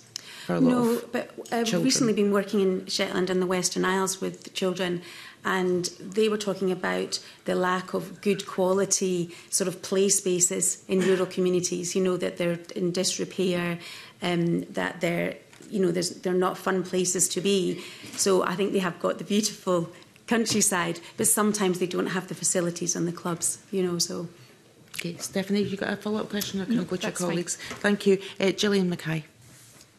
Thanks, convener. Um, I want to ask the panel coming off the back of um, Stephanie's questions on, on facilities and things, on how we maintain that diversity of facilities, notwithstanding the ones that are um, are up for potential closure because of budget cuts. I've heard from um, hockey clubs and various other clubs in, in my local area that uh, 5G pitches are almost easier to easier to rent, but aren't. Um, aren't suitable for for some sports compared to compared to others, and could potentially have a slow creep into um, into sports that are more generally dominated by by boys and men, thus shutting off some some of that um, that sporting diversity for for others. I wondered if you had had a view on how we not only maintain that diversity of facilities but also expand it to make sure that um, to make sure that we have as, as wide a range of, of sports available for, for people to try as possible, as well as um, those facilities that allow general physical activity too um because I think as as Emma mentioned earlier the Scottish weather is not always the most inviting to to going out for a walk and, and other things as well and I think we see that generally in cycles of people um, maybe becoming less active over the winter compared to the compared to the summer. I, I personally think it's a spend to save. Mm-hmm. Um, so we have to invest in in the basic sports and the facilities. Yes, that costs a little bit of money on on, on letting people have opportunities to do things, but it, it improves people's mental health. We've got a mental health crisis which is costing millions. We, we need to to reduce that burden. I saw a, a video clip yesterday of a 92 year old woman who does Ironman triathlons at the age of 92. Quite astounding. mm But actually, the research is there. If you're active and you do strength training and you do all of these things through your life, then actually you're going to be a, a fit octogenarian and not an unfit octogenarian. And that will save a fortune. mm If we can get those hip bones and your, your legs all strengthened up by doing strength exercises. You'll have less um, fractured hips and fractured femurs because actually we'll have better bones. I mean, it's that spend to save. We need to be thinking about the long term. Unfortunately, a lot of things in Parliament are all about well, what's happening in the next election, but we need to be thinking well, what's happening to our young people over the next 60 to 70 years. You know, it's, it's, not, it's not a short term fix, so it does take money but it is a spend to save in the long term. Come in. Um, it's not an area of um, specialism for, for Children's Parliament as such, the, the facilities. But what I will say is that children tell us that, um, that they want a choice of um, physical activities and sports to take part in um, and that they feel limited in whether it's just, you know, football, hockey, mm. um, some of the more traditional, popular in Scotland sports um, and that they would like to try different ones and they'd like to try sports that are maybe, again, not associated with their or more linked to gender as well and that they don't have these facilities, they don't have these opportunities uh, in, in front of them and that they that um, the girls would often say that we don't know if we want to do it if we don't have a go. So there's a much there's a need to have a lot more have a go opportunities and to have the facilities um, to be able to offer that.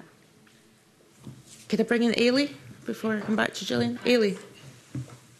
Absolutely, um, and thank you for the question, Gillian. It's a very good one, and you're absolutely right. The Scottish weather does lean on um, indoor facilities in terms of just being able to, to, and actually the enjoyment level of playing outside in certain temperatures is not is not the best. So I definitely think um, focusing on building better indoor spaces, indoor halls, and obviously uh, many sports rely upon having a hall space um, I know that my SGB colleagues would be again tapping the shoulders saying that please, please, please make sure that our lines are in those halls. But what lines are in those halls? What sports are being able to play in them? And um, what are the partnerships that are there um, at the time to make sure that the sports already existing in those communities are being facilitated for? Um, and then also, why aren't other um, sports being played? Because actually, that might that, that might appeal to a completely different demographic. Um, but even if we look to our roads, for example, taking cycling and active travel into into um, into the idea, and many students love active travel. A lot of them have a, a green hat on. Gillian would be very happy to hear as well. Um, in terms of wanting to make sure that they're, look, that they're looking after the planet as well as um, being active. So our roads are up absolutely utmost um, importance in making sure that nobody falls off because of a pothole or whatever else might be happening on the roads is super important. And um, again, it's just as I, uh, I believe, go back to societally and culturally how sport is viewed and activity is viewed, and I feel like things like active travel um, aren't viewed as much of a priority as they absolutely should be. And I think my students would back me up on that point as well. But um, definitely expanding facility access for indoor spaces. Um, and actually, we have fantastic community sport hub officers. We have fantastic um, active schools coordinators who know their communities extremely well though um, I wouldn't want to speak on their behalf for the, if the, the full nation in a sweeping statement, but I imagine they would know where the, the gains and losses would and could be made in, in um, localities to ensure that we're facilitating for those that um, need, need to be facilitated for, but also giving opportunities to those that don't feel yet catered for, um, which is really important as well. Gillian. To, to follow up on, on something that, that Dr Stark said, but that others might have have an opinion on as well. He said about that that strength training side of things, and certainly having gone through school, we did a lot of sport-based PE, but not an awful lot of gym-based PE, and that sort of that learning of of how to do a squat, a deadlift, all those sorts of things. Again, that's not for every that's not for every child, but if you look at the underpinning of a lot of um, training to be able to get better at the sport that you're doing and things a lot of those things are are based in the gym do we think we're doing enough of of that that side of things where most people are getting some of their activity is is gym based now and there's a lot of misinformation and things online and do we need to be doing more of that at a a younger level so that that can be done safely and it's not something that's being being learned often I mean for myself it was learned through through peers at, at university of how to do a lot of that a lot of that properly. And that's actually once people are getting into their, their late teens, early 20s, and there's a big missed opportunity earlier in life. Um, I think certainly that group is really um, important to be doing the strength based training. And, you know, example of where the gender bias comes in, we've, we've got this local gym that's been set up, and um, the police are using it as a community um, activity. So they're taking boys who are being disruptive at school and taking them mm -hmm. to mm-hmm. the gym during the school day to do the strength based activities to try and behave their own favour. There was no suggestion the girls got to go and learn mm -hmm. how mm-hmm. to do the strength training because mm -hmm. actually doing strength training as a young as a teenager and then 20, 30s, because mm -hmm. all women in their 40s, 50s, 60s should still be doing strength training because mm -hmm. that's what will keep our muscles and keep us well as we go into old age. So we need to be doing that early. So yeah, why are we not doing these initiatives for the girls as well as the boys? Why is the strength training for the boys and not the girls? You know, it's it's very niche for the girls, but it should be much more for all all girls because actually they can really gain a lot of positive mental health um, from doing a bit of strength training. Mm -hmm. Um, can I move on to talking about? Um, let me just health and well-being, we've been talking about that throughout. Again, that is the impetus, I think, for this, this inquiry, because we did do an inquiry into um, children and young people's mental well-being and physical health in our first year since we came back from, from the election and that's why we thought we would do something specifically on, on, on, on girls and, and women. Um, so can I go to Evelyn Tweed? Thanks, convener. Uh, good morning, panel. Um, do you think COVID and the years of homeschooling and remote learning have had an impact around girls and young women in terms of the impact of puberty and body image? And if so, what might we do to remedy this? And I'd like to ask Dr. Stark first. I think I think the COVID and the homeschooling had a, a really severe impact on young people, both boys and girls. And um, you know, we're seeing that in our clinics and we're seeing that as a runoff. Some, some children enjoyed the homeschooling, but it made them lose out so many activities. And so many young people have just not gone back to them. And probably particularly girls haven't gone back to their activities. They might have been doing gymnastics before COVID, they didn't go back. Um, we're seeing increasing numbers of children who um, have eating disorders You know, some children put on weight during lockdown, some children lost weight during lockdown, but we're definitely seeing more eating disorders and we're definitely seeing more children that are struggling with their mental health. And we're, we're having this big group of children that have never had any opportunities to do outdoor education because they missed it in COVID. And these are, you know, could well be the sports that they really would thrive in, but they've never got the opportunity to do them and never will because they won't be able to afford to do that. It depends on what your parents do. Some children thrived in lockdown. Some people had families that went out and did lots of activities with them. And some children just stayed and played on their computers and didn't go out and became less sociable. So lockdown was not the same for every child. Um, but most children were affected by lockdown. Um, the mental health effects of lockdown are significant and cannot be underestimated and um, but by giving it, children more opportunities now than they had before and allowing them to do sports and activities will hopefully help restore some of what they've lost. But at the moment, most of the um, money and impetus is all on, on adults rather than on children. You know, the long COVID group in children, we're seeing children who've got chronic fatigue and lots of difficulties the, the children's group has had no money and no, you know, we've not got off the ground yet.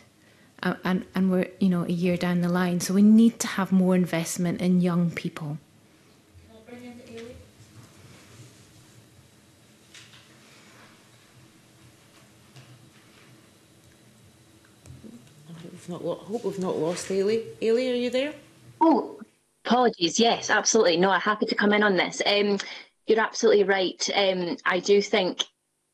and I absolutely agree with Dr. Stark. Not everyone's experience in that lockdown was was the same. Same goes for our students. There was um, because we stayed in touch virtually and were able to keep in touch with all of our our, our student leaders um, and volunteers. We were able to kind of get a, a, a in the moment response from from this, but actually some of the some of the experiences were were very positive in terms of it gave I gave our student leaders an opportunity to be very very in, innovative and do training and club club um, activities online, which obviously is not the same, but in a moment of crisis, it still has an opportunity to to bring people together, socialise, and um, and share share experiences, whether that just be vocalising how they're feeling or um, what they're what they're being up to. Um, but I also think that that really enhanced why it's why sport and activity is so important um, and obviously us all being locked in our houses for a certain period of time um, again that experience different for, every, for everyone from someone being by themselves to having a, a large family and having no space to yourself but it really enhanced the need of why um, hobbies and sport is really really important for communities to have um, I know that puberty was mentioned, and I know that um, for young girls in particular, there is a, a, drop off in participation around around that age, and I do think that um, that is something that we have to continue to look forward to. There is an organisation called the Well HQ, which um, Scottish and Sport is going to be partnering with, which do fantastic work within uh, women's health and um, educating coaches and leaders on this particular area of work. Um, and I just kind of I wanted to make the, the committee aware of but absolutely, we, we do need to ensure that, that, that during this this age group of of girls going through puberty that, that we're encouraging them to keep up their activities even though things are changing that is the one thing that can that can stay the consistent throughout throughout their lives is that activity and obviously they can come and go and get part on in other things but obviously we don't want them to feel like because they're going through that change that um that activity needs to to, to, to, to take a back seat um and again there's so many taboo subjects here in terms of um what you know what uh, what, what, what products are being used and what support is being given to, to, that young person going through that experience. But that certainly is something I think we need to be much more vocal about and um, and talk about. And again, we have a whole student demographic who I'm sure would want to be role models in this space and and share their experiences for for all of our young people across the nation. Um, so again, happy to happy to be of assistance there in the future too. Thank you, and we'll look into Well HQ. Thanks for that tip. Rona, did you want to come in on this? Uh, just to say that I echo a lot of what's been said already, um, and to stress the importance of that coaches in particular, I think, um, um, would benefit from the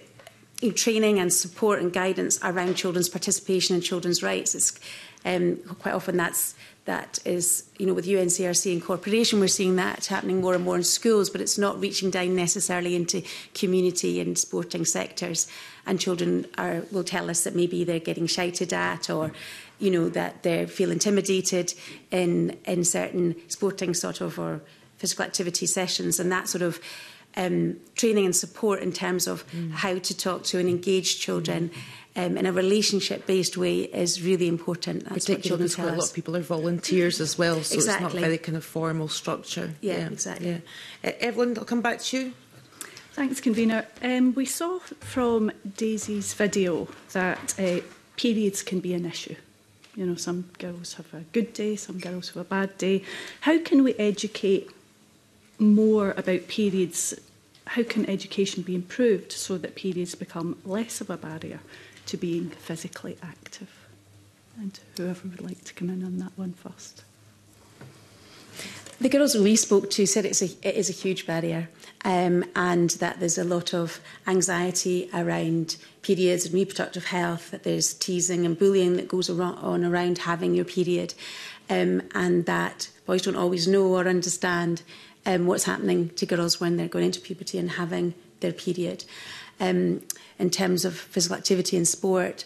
Um, girls are sometimes saying to us that um, going to the toilet and not being allowed to go to the toilet at certain times is, is stressful for them, or that the toilet or the changing facilities don't feel private or suitable to um, to use sanitary products. So you're absolutely right, it, it is an issue um, uh, girls are sort of saying there are some very positive things that seeing sanitary products in, in toilets is really good. Period pants are really good in terms of being able to do uh, physical activity. The combatants say they like those those types of products. That's really helping, but it it remains a concern, and they want to see this talked about more openly and freely um, in the school space.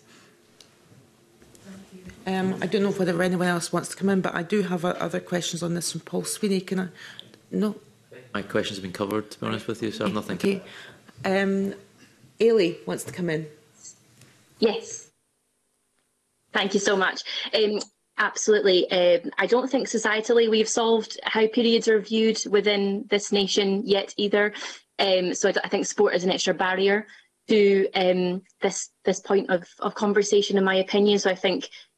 uh, within Scotland we have a lot to do to uh, give our, our, our, girls' confidence in their bodies and in this um, very natural um, and very necessary uh, physical um, period that, that that that happens. So I think that's num- number one is that we haven't as a as a nation solved this, and number two, sport is just an extra barrier to that. Um, but also, I mean, the, the free sanitary products in public spaces are a giant, absolutely brilliant step forward, and obviously the colleges and university spaces count within that. So our students are always giving positive feedback about how, how that's such a, a fantastic step forward for them. Um, so I agree with um, with Rona's point on that absolutely. Um, but again, I think culturally, sport uh, sport sits at, at, at the centre of culture, and if we want to make a, a culture shift in this area of work. Um, sport can certainly be the, the assisting driver of that, and already we've seen some fantastic um, conversations happen again. I don't think the changing colour of shorts is necessarily a, um, a solution. We don't want anyone leaking, no matter whether that's into white shorts or blue shorts. But I do certainly think it is a step forward in terms of just having that thought process and having the intention and the conversation. That's the really important bit. But I don't think that we are, are, are, are, yet at the point of solving this. And I do think sport can be a, a, driver in making this conversation more natural for boys and girls. I really do think no matter who is around the table, that everyone should be aware of this bodily process as it, as it affects everybody. Um, and it's um, it's hugely important. It shouldn't be seen as something that should be, you know, I have to put something up my sleeve to hide it because I don't want anyone to know that I'm on this particular time of, my, of the month. Um, and again, shouldn't the, the student sector are, are, could, could possibly be a driver in that kind of role model piece of work as well. Okay. talking of role models, well, I want to talk about role models and social media uh, in particular. Um, can I go to Paul Kane? Hey, thank you very much, convener, and good morning to the panel. And, and I think the video at the start really helped to set so much of what we're discussing in context, and we heard a lot about role models and the importance of role models in in people's lives. But I, I wonder if we can just um, kind of explore, I suppose, in the kind of social media context. Uh, and of course, more broadly, you know, what do you feel can be done to encourage more role models to share their stories, essentially, in those spaces, uh, and encourage uh, girls and women to, to, to come forward into sport?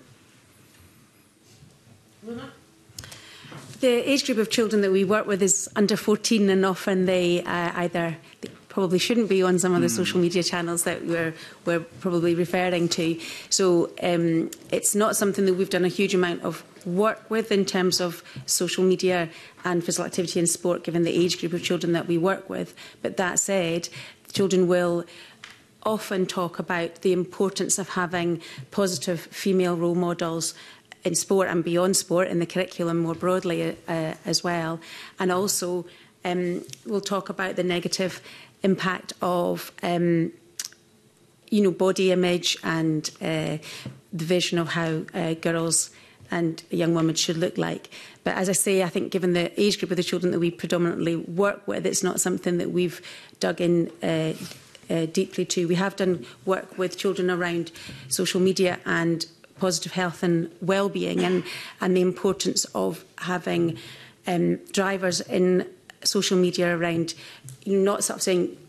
um, don't engage with this, it's bad. It's but you're, you're engaging with all of these very variety of platforms once you're of the age that you should be, and that we want to see positive um, uh, storytelling, positive uh, um, uh, apps and um, messaging around physical activity and sport and around body image and girls' confidence. So using social media as a force for good as distinct from a, a mm. force for bad. I'm not sure if my colleagues have got more to add.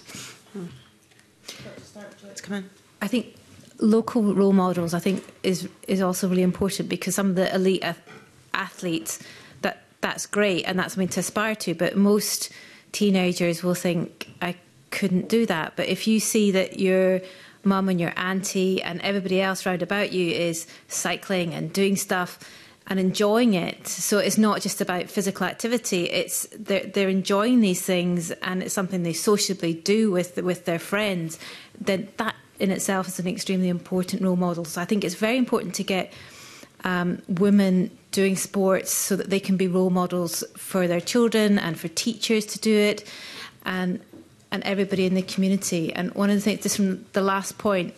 Um, It's not just periods and menstruation. For older women, one of the big barriers to doing exercise is that they might pee themselves. Urinary incontinence is huge.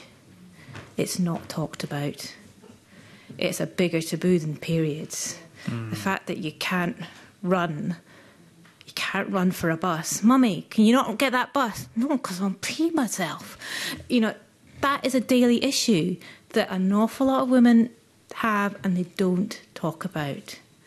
We need to be talking about it and thinking about actually Pilates classes should be something that are free and achievable, not just something that a small group of women can do because they're essential.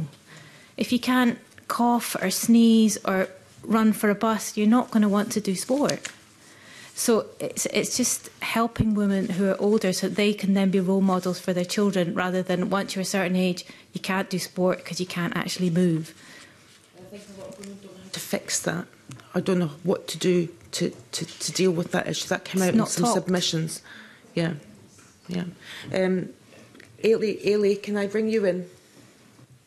Absolutely.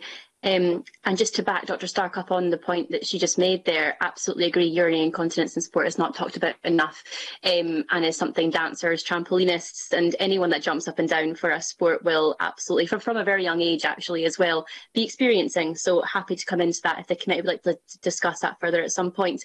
Um, going back to, to social media um, and role models, absolutely, um, this is something that we at Scottish Student Sport are, are aware of. Um, in fact, give at uh, Scottish Student Sport a follow on social media if you fancy. Um, and we have some great examples of role models and actually authenticity and, and role models on that on, on our pages as well as an example. Um, but that that's exactly the point: is what is the intention of the the, the, the social media, and if it's authenticity, that's fantastic. Um, obviously, our athletes and our influencers who are in, in the kind of fitness or activity industry are already doing what they can to gain falls, and in general are very aware of diverse audiences and people who are um, very vulnerable to being influenced in in a negative way. I definitely think that the culture of social media and activity is improving. Is it as good as it should be? Absolutely not. Um, but obviously, there's a whole area of safety and social uh, and, and social media that I probably won't touch today, but um, certainly can be discussed in in future. But absolutely, making sure that we are looking to pro promote authentic role models um, who are looking to make a positive change um, and a positive influence on, on our young people is absolutely essential.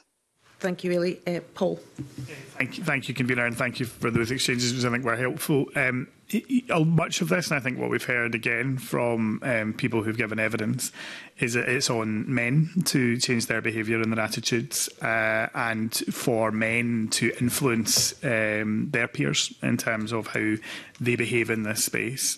Um, I, I just wonder eh, are there reflections on you know how using again the social media space do we need to encourage more um, kind of role model, male role models at a national level to influence behavioural change, or do you think that is more about grassroots, or is it a kind of mixture of both? You know, I referenced in the past, um, you know, some of the helpful statements that someone like Andy Murray has made. You know, I think most people would recognise that, but obviously it goes much further than that. And, and just just keen to to get your sense of what what we as men can do, because I think that's vitally important. I think I think both women have to be confident and, and, and do this, but also men need to help facilitate things. For many, you know, we, we've moved on. Women are now much more career orientated, and they may well be um, doing a lot of the work, bringing in money into the household.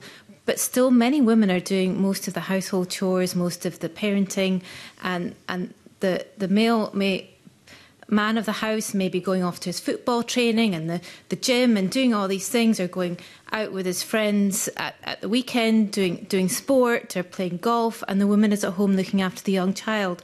So the men have to say, actually, it's your turn to go and do some sport with your friends. I'll make dinner tonight so you can go and do that that class because I know you'd like to do that, but you haven't got time. So I think we need to, society to become much more equal And I think we're just not there. I think I look back at, you know, society and what, what's happened, and actually women just seem to be overloaded because they're now having to do everything. So men just have to take more of the, the homework so that, that women have got time to do some of these activities. That you, you don't mind, that came out when we spoke to women in Dunfermline. We went to play some basketball with women who were kind of like the ages that I, I am, and they often said, I hadn't done any sport since I left school or university, and now I'm coming back to it, and I'm something in my late, late 40s. And that caring responsibility was the main reason for that. So um, thought I'd mention that.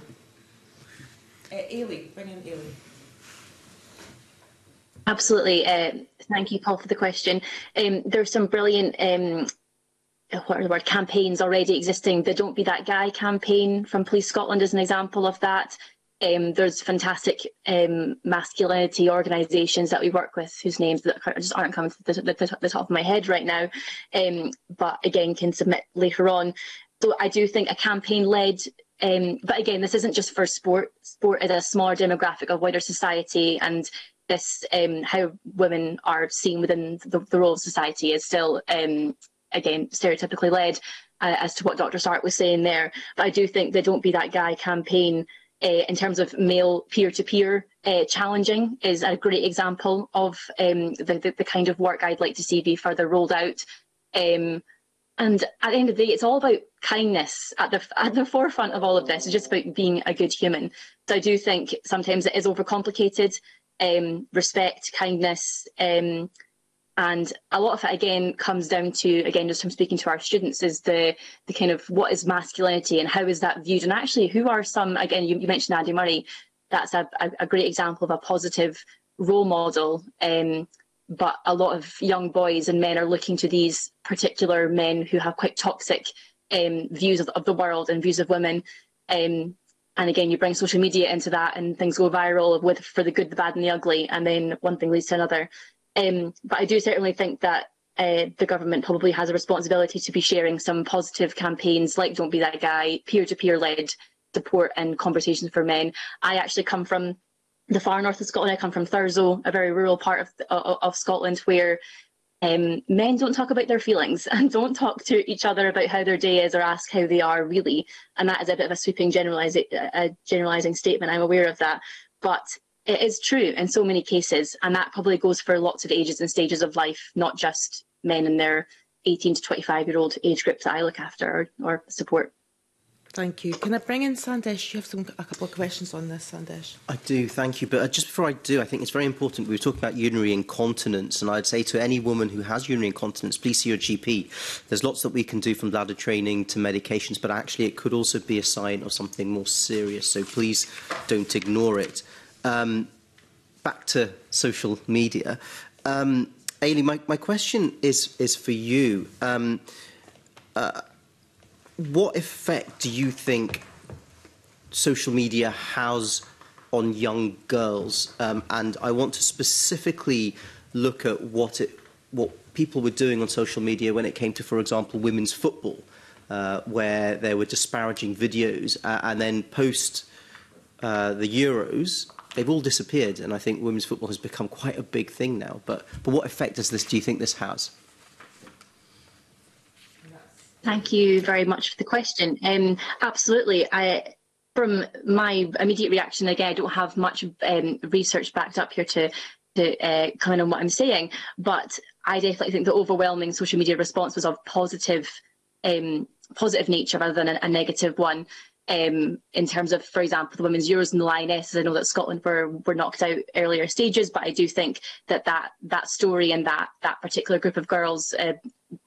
uh, players, should I say, captured the full nation um, as as well, and that was um, a fantastic move to see. But um, in my opinion, I think it was a, a positive reaction on social media. I, again, there's so many examples of where women, uh, especially in the elite athlete sector, are treated differently to men by the media, and um, there are groups of um, activists online who like to highlight this for, for all the right reasons. Um, so that, that can be seen as a kind of negative um, influence. But obviously, what I see on social media and what other people see isn't necessarily the same thing because I'm obviously of a, of a, different audience. But um, I do believe it was overwhelmingly positive around the Euros time, um, the Women's Euros, that is. And obviously, we've got the, the, Women's World Cup coming up. They have, have currently the Women's Six Nations taking place. Um, there's lots of really positive examples of um, elite athletes in sport across a diverse uh, range of sports as well. Um, but again, where I'm aware that not every single young person, uh, young girl would like to see elite um, athletes. I just want to see somebody going for a jog or going for a, a cycle and not taking it all too seriously. So um, it's brilliant to have those positive elite role models, but also having someone that's a bit more um, realistic to their to their uh, level of activity as well. Thank you. Um, and and I, I want to look about inequalities as well. Um, I, I, want to specifically focus or, or women and girls who are from ethnic backgrounds, and in particular of South Asian backgrounds, because they don't tend, it's, it, it's quite difficult um, for people from South Asian backgrounds to progress in sport and to play a lot of sport, but it's particularly difficult uh, for girls. So, so uh, Ada, I want to come back to you to ask what role do you think role models might have in, in this, or what ideas you might have to increase participation? Uh, of girls who come from South Asian backgrounds? Again, um, a brilliant question, and I know one that Sport Scotland um, is looking to come back to um, governing bodies and organisations like mine as to kind of the next step in the, con the, the, consultation process within race and ethnicity and the, the work that's been going on for the last couple of years in that space. Um, in terms of the student sector, I think there is um, an incredible amount of role models that would be able to um, do what you're um, what you're su suggesting and recommending. And I do think um, this is so important that we that we have a diverse voice. And I always talk about um, in intersectional um, fe feminism, and I think it's so important that we think about every kind of woman when we're talking about about, about this topic of conversation. Um, but I do definitely think that there are um, we have many international students and students from from Scotland um, who are are so diverse in their nature, and we're so lucky that they all um, feel like they're able to take part in our sport um, while studying at university or college. So again, I, I, recommend the committee lean on the student sector for um, a diverse population and diverse opportunities to demonstrate that because they do exist. It's just um, how do we get to them and how do we encourage them to share share their voices. Um, Stephanie, time for you a very succinct question because Tess still has a lot of questions to ask about our final theme, so I'll bring you in. Thanks, Convener. Question directly for you, Dr Stark. We kind of spoke about mothers being huge role models, um, that they put themselves last, unaffordable, unaffordable costs that are involved there. I'm just wondering about that early motherhood period. Is that possibly um, an area we should focus on and target? Because if mothers understood that making their activity a priority for their children and keeping that up, because they've got that little bit of time and space to do that there, that keeping that up would have really positive impacts for their children could that make a real difference I going think, forward? I think investing in that period, a lot of children, a lot, lot of mothers can be off maternity leave for a while, and you know, one of the the things that does help your mental health in that period is doing some physical activity and doing some activities.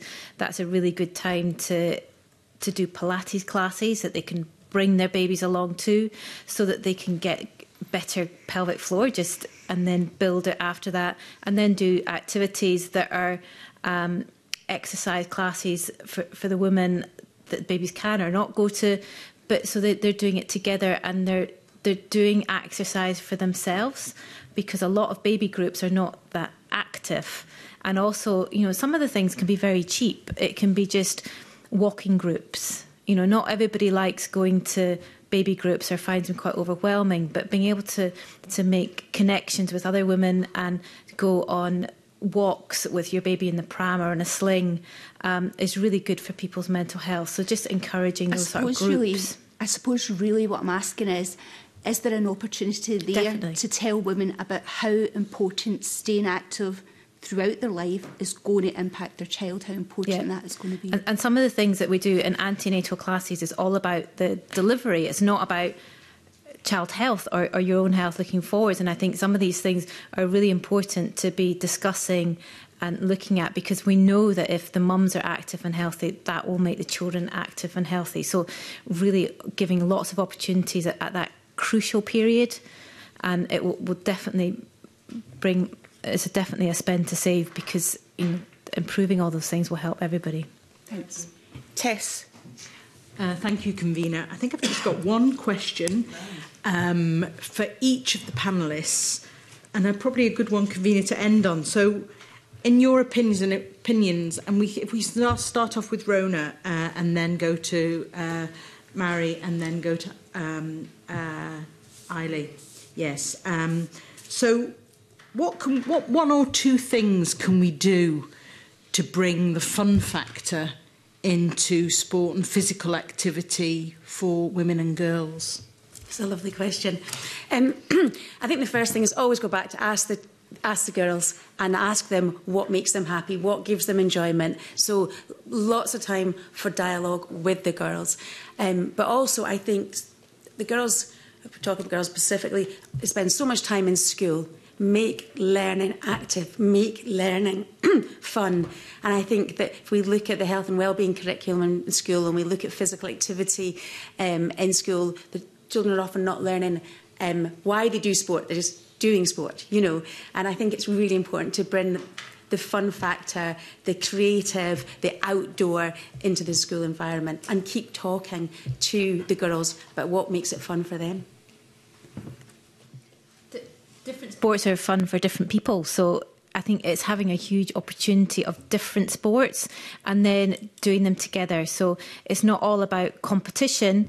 It that the out that what we're looking for is you've had um, a really fun day, you've enjoyed what you're doing, you know, and you've not even realised it's sport and exercise because you've just had really fun time doing activities, and that goes through all the ages and doing different things.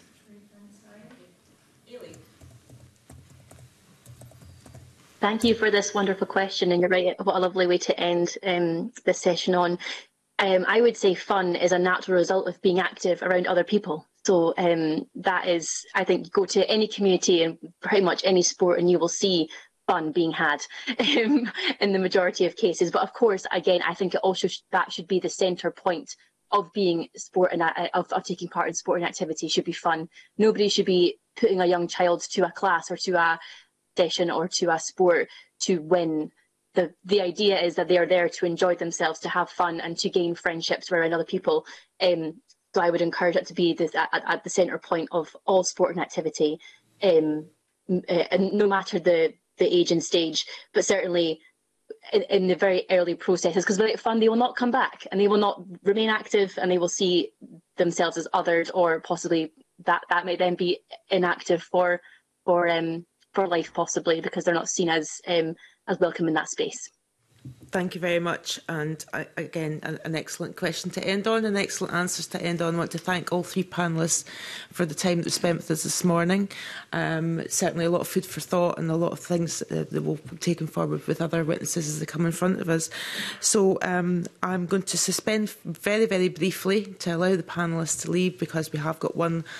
final item in public to take.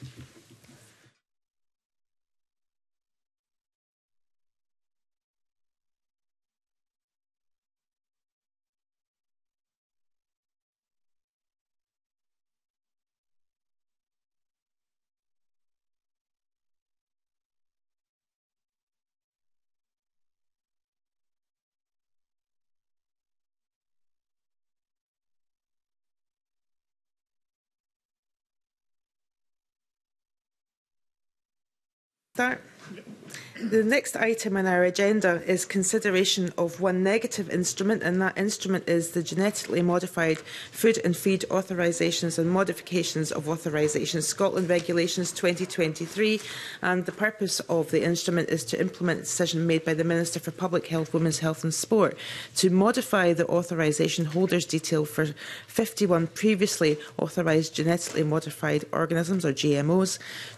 to authorise six GM food and feed products for placement on the market in Scotland and to renew the authorisation for two GM food and feed products for placement on the market in Scotland. And this instrument also amends the Genetically Modified Food and Feed Authorisation Scotland Regulations 2022, providing minor corrections for authorisations. Now, the policy note states that this instrument aligns, with, uh, aligns Scotland with England and Wales, as well as with similar EU legislation for these products all of which have now been authorised by the EU Commission. The Scottish Government has further confirmed that the terms of authorisation for the GMOs in the genetically modified food and feed authorisations and modification of authorisation Scotland Regulations 2023 are the same in terms as terms of authorisation in the EU and Northern Ireland. The Delegated Powers and Law Reform Committee considered this instrument at their meeting on the 13th of March 2023 and made no recommendations in relation to this instrument and no motion to annul has been received in relation to this instrument. So I ask members if they've got any comments to make in relation to the instrument.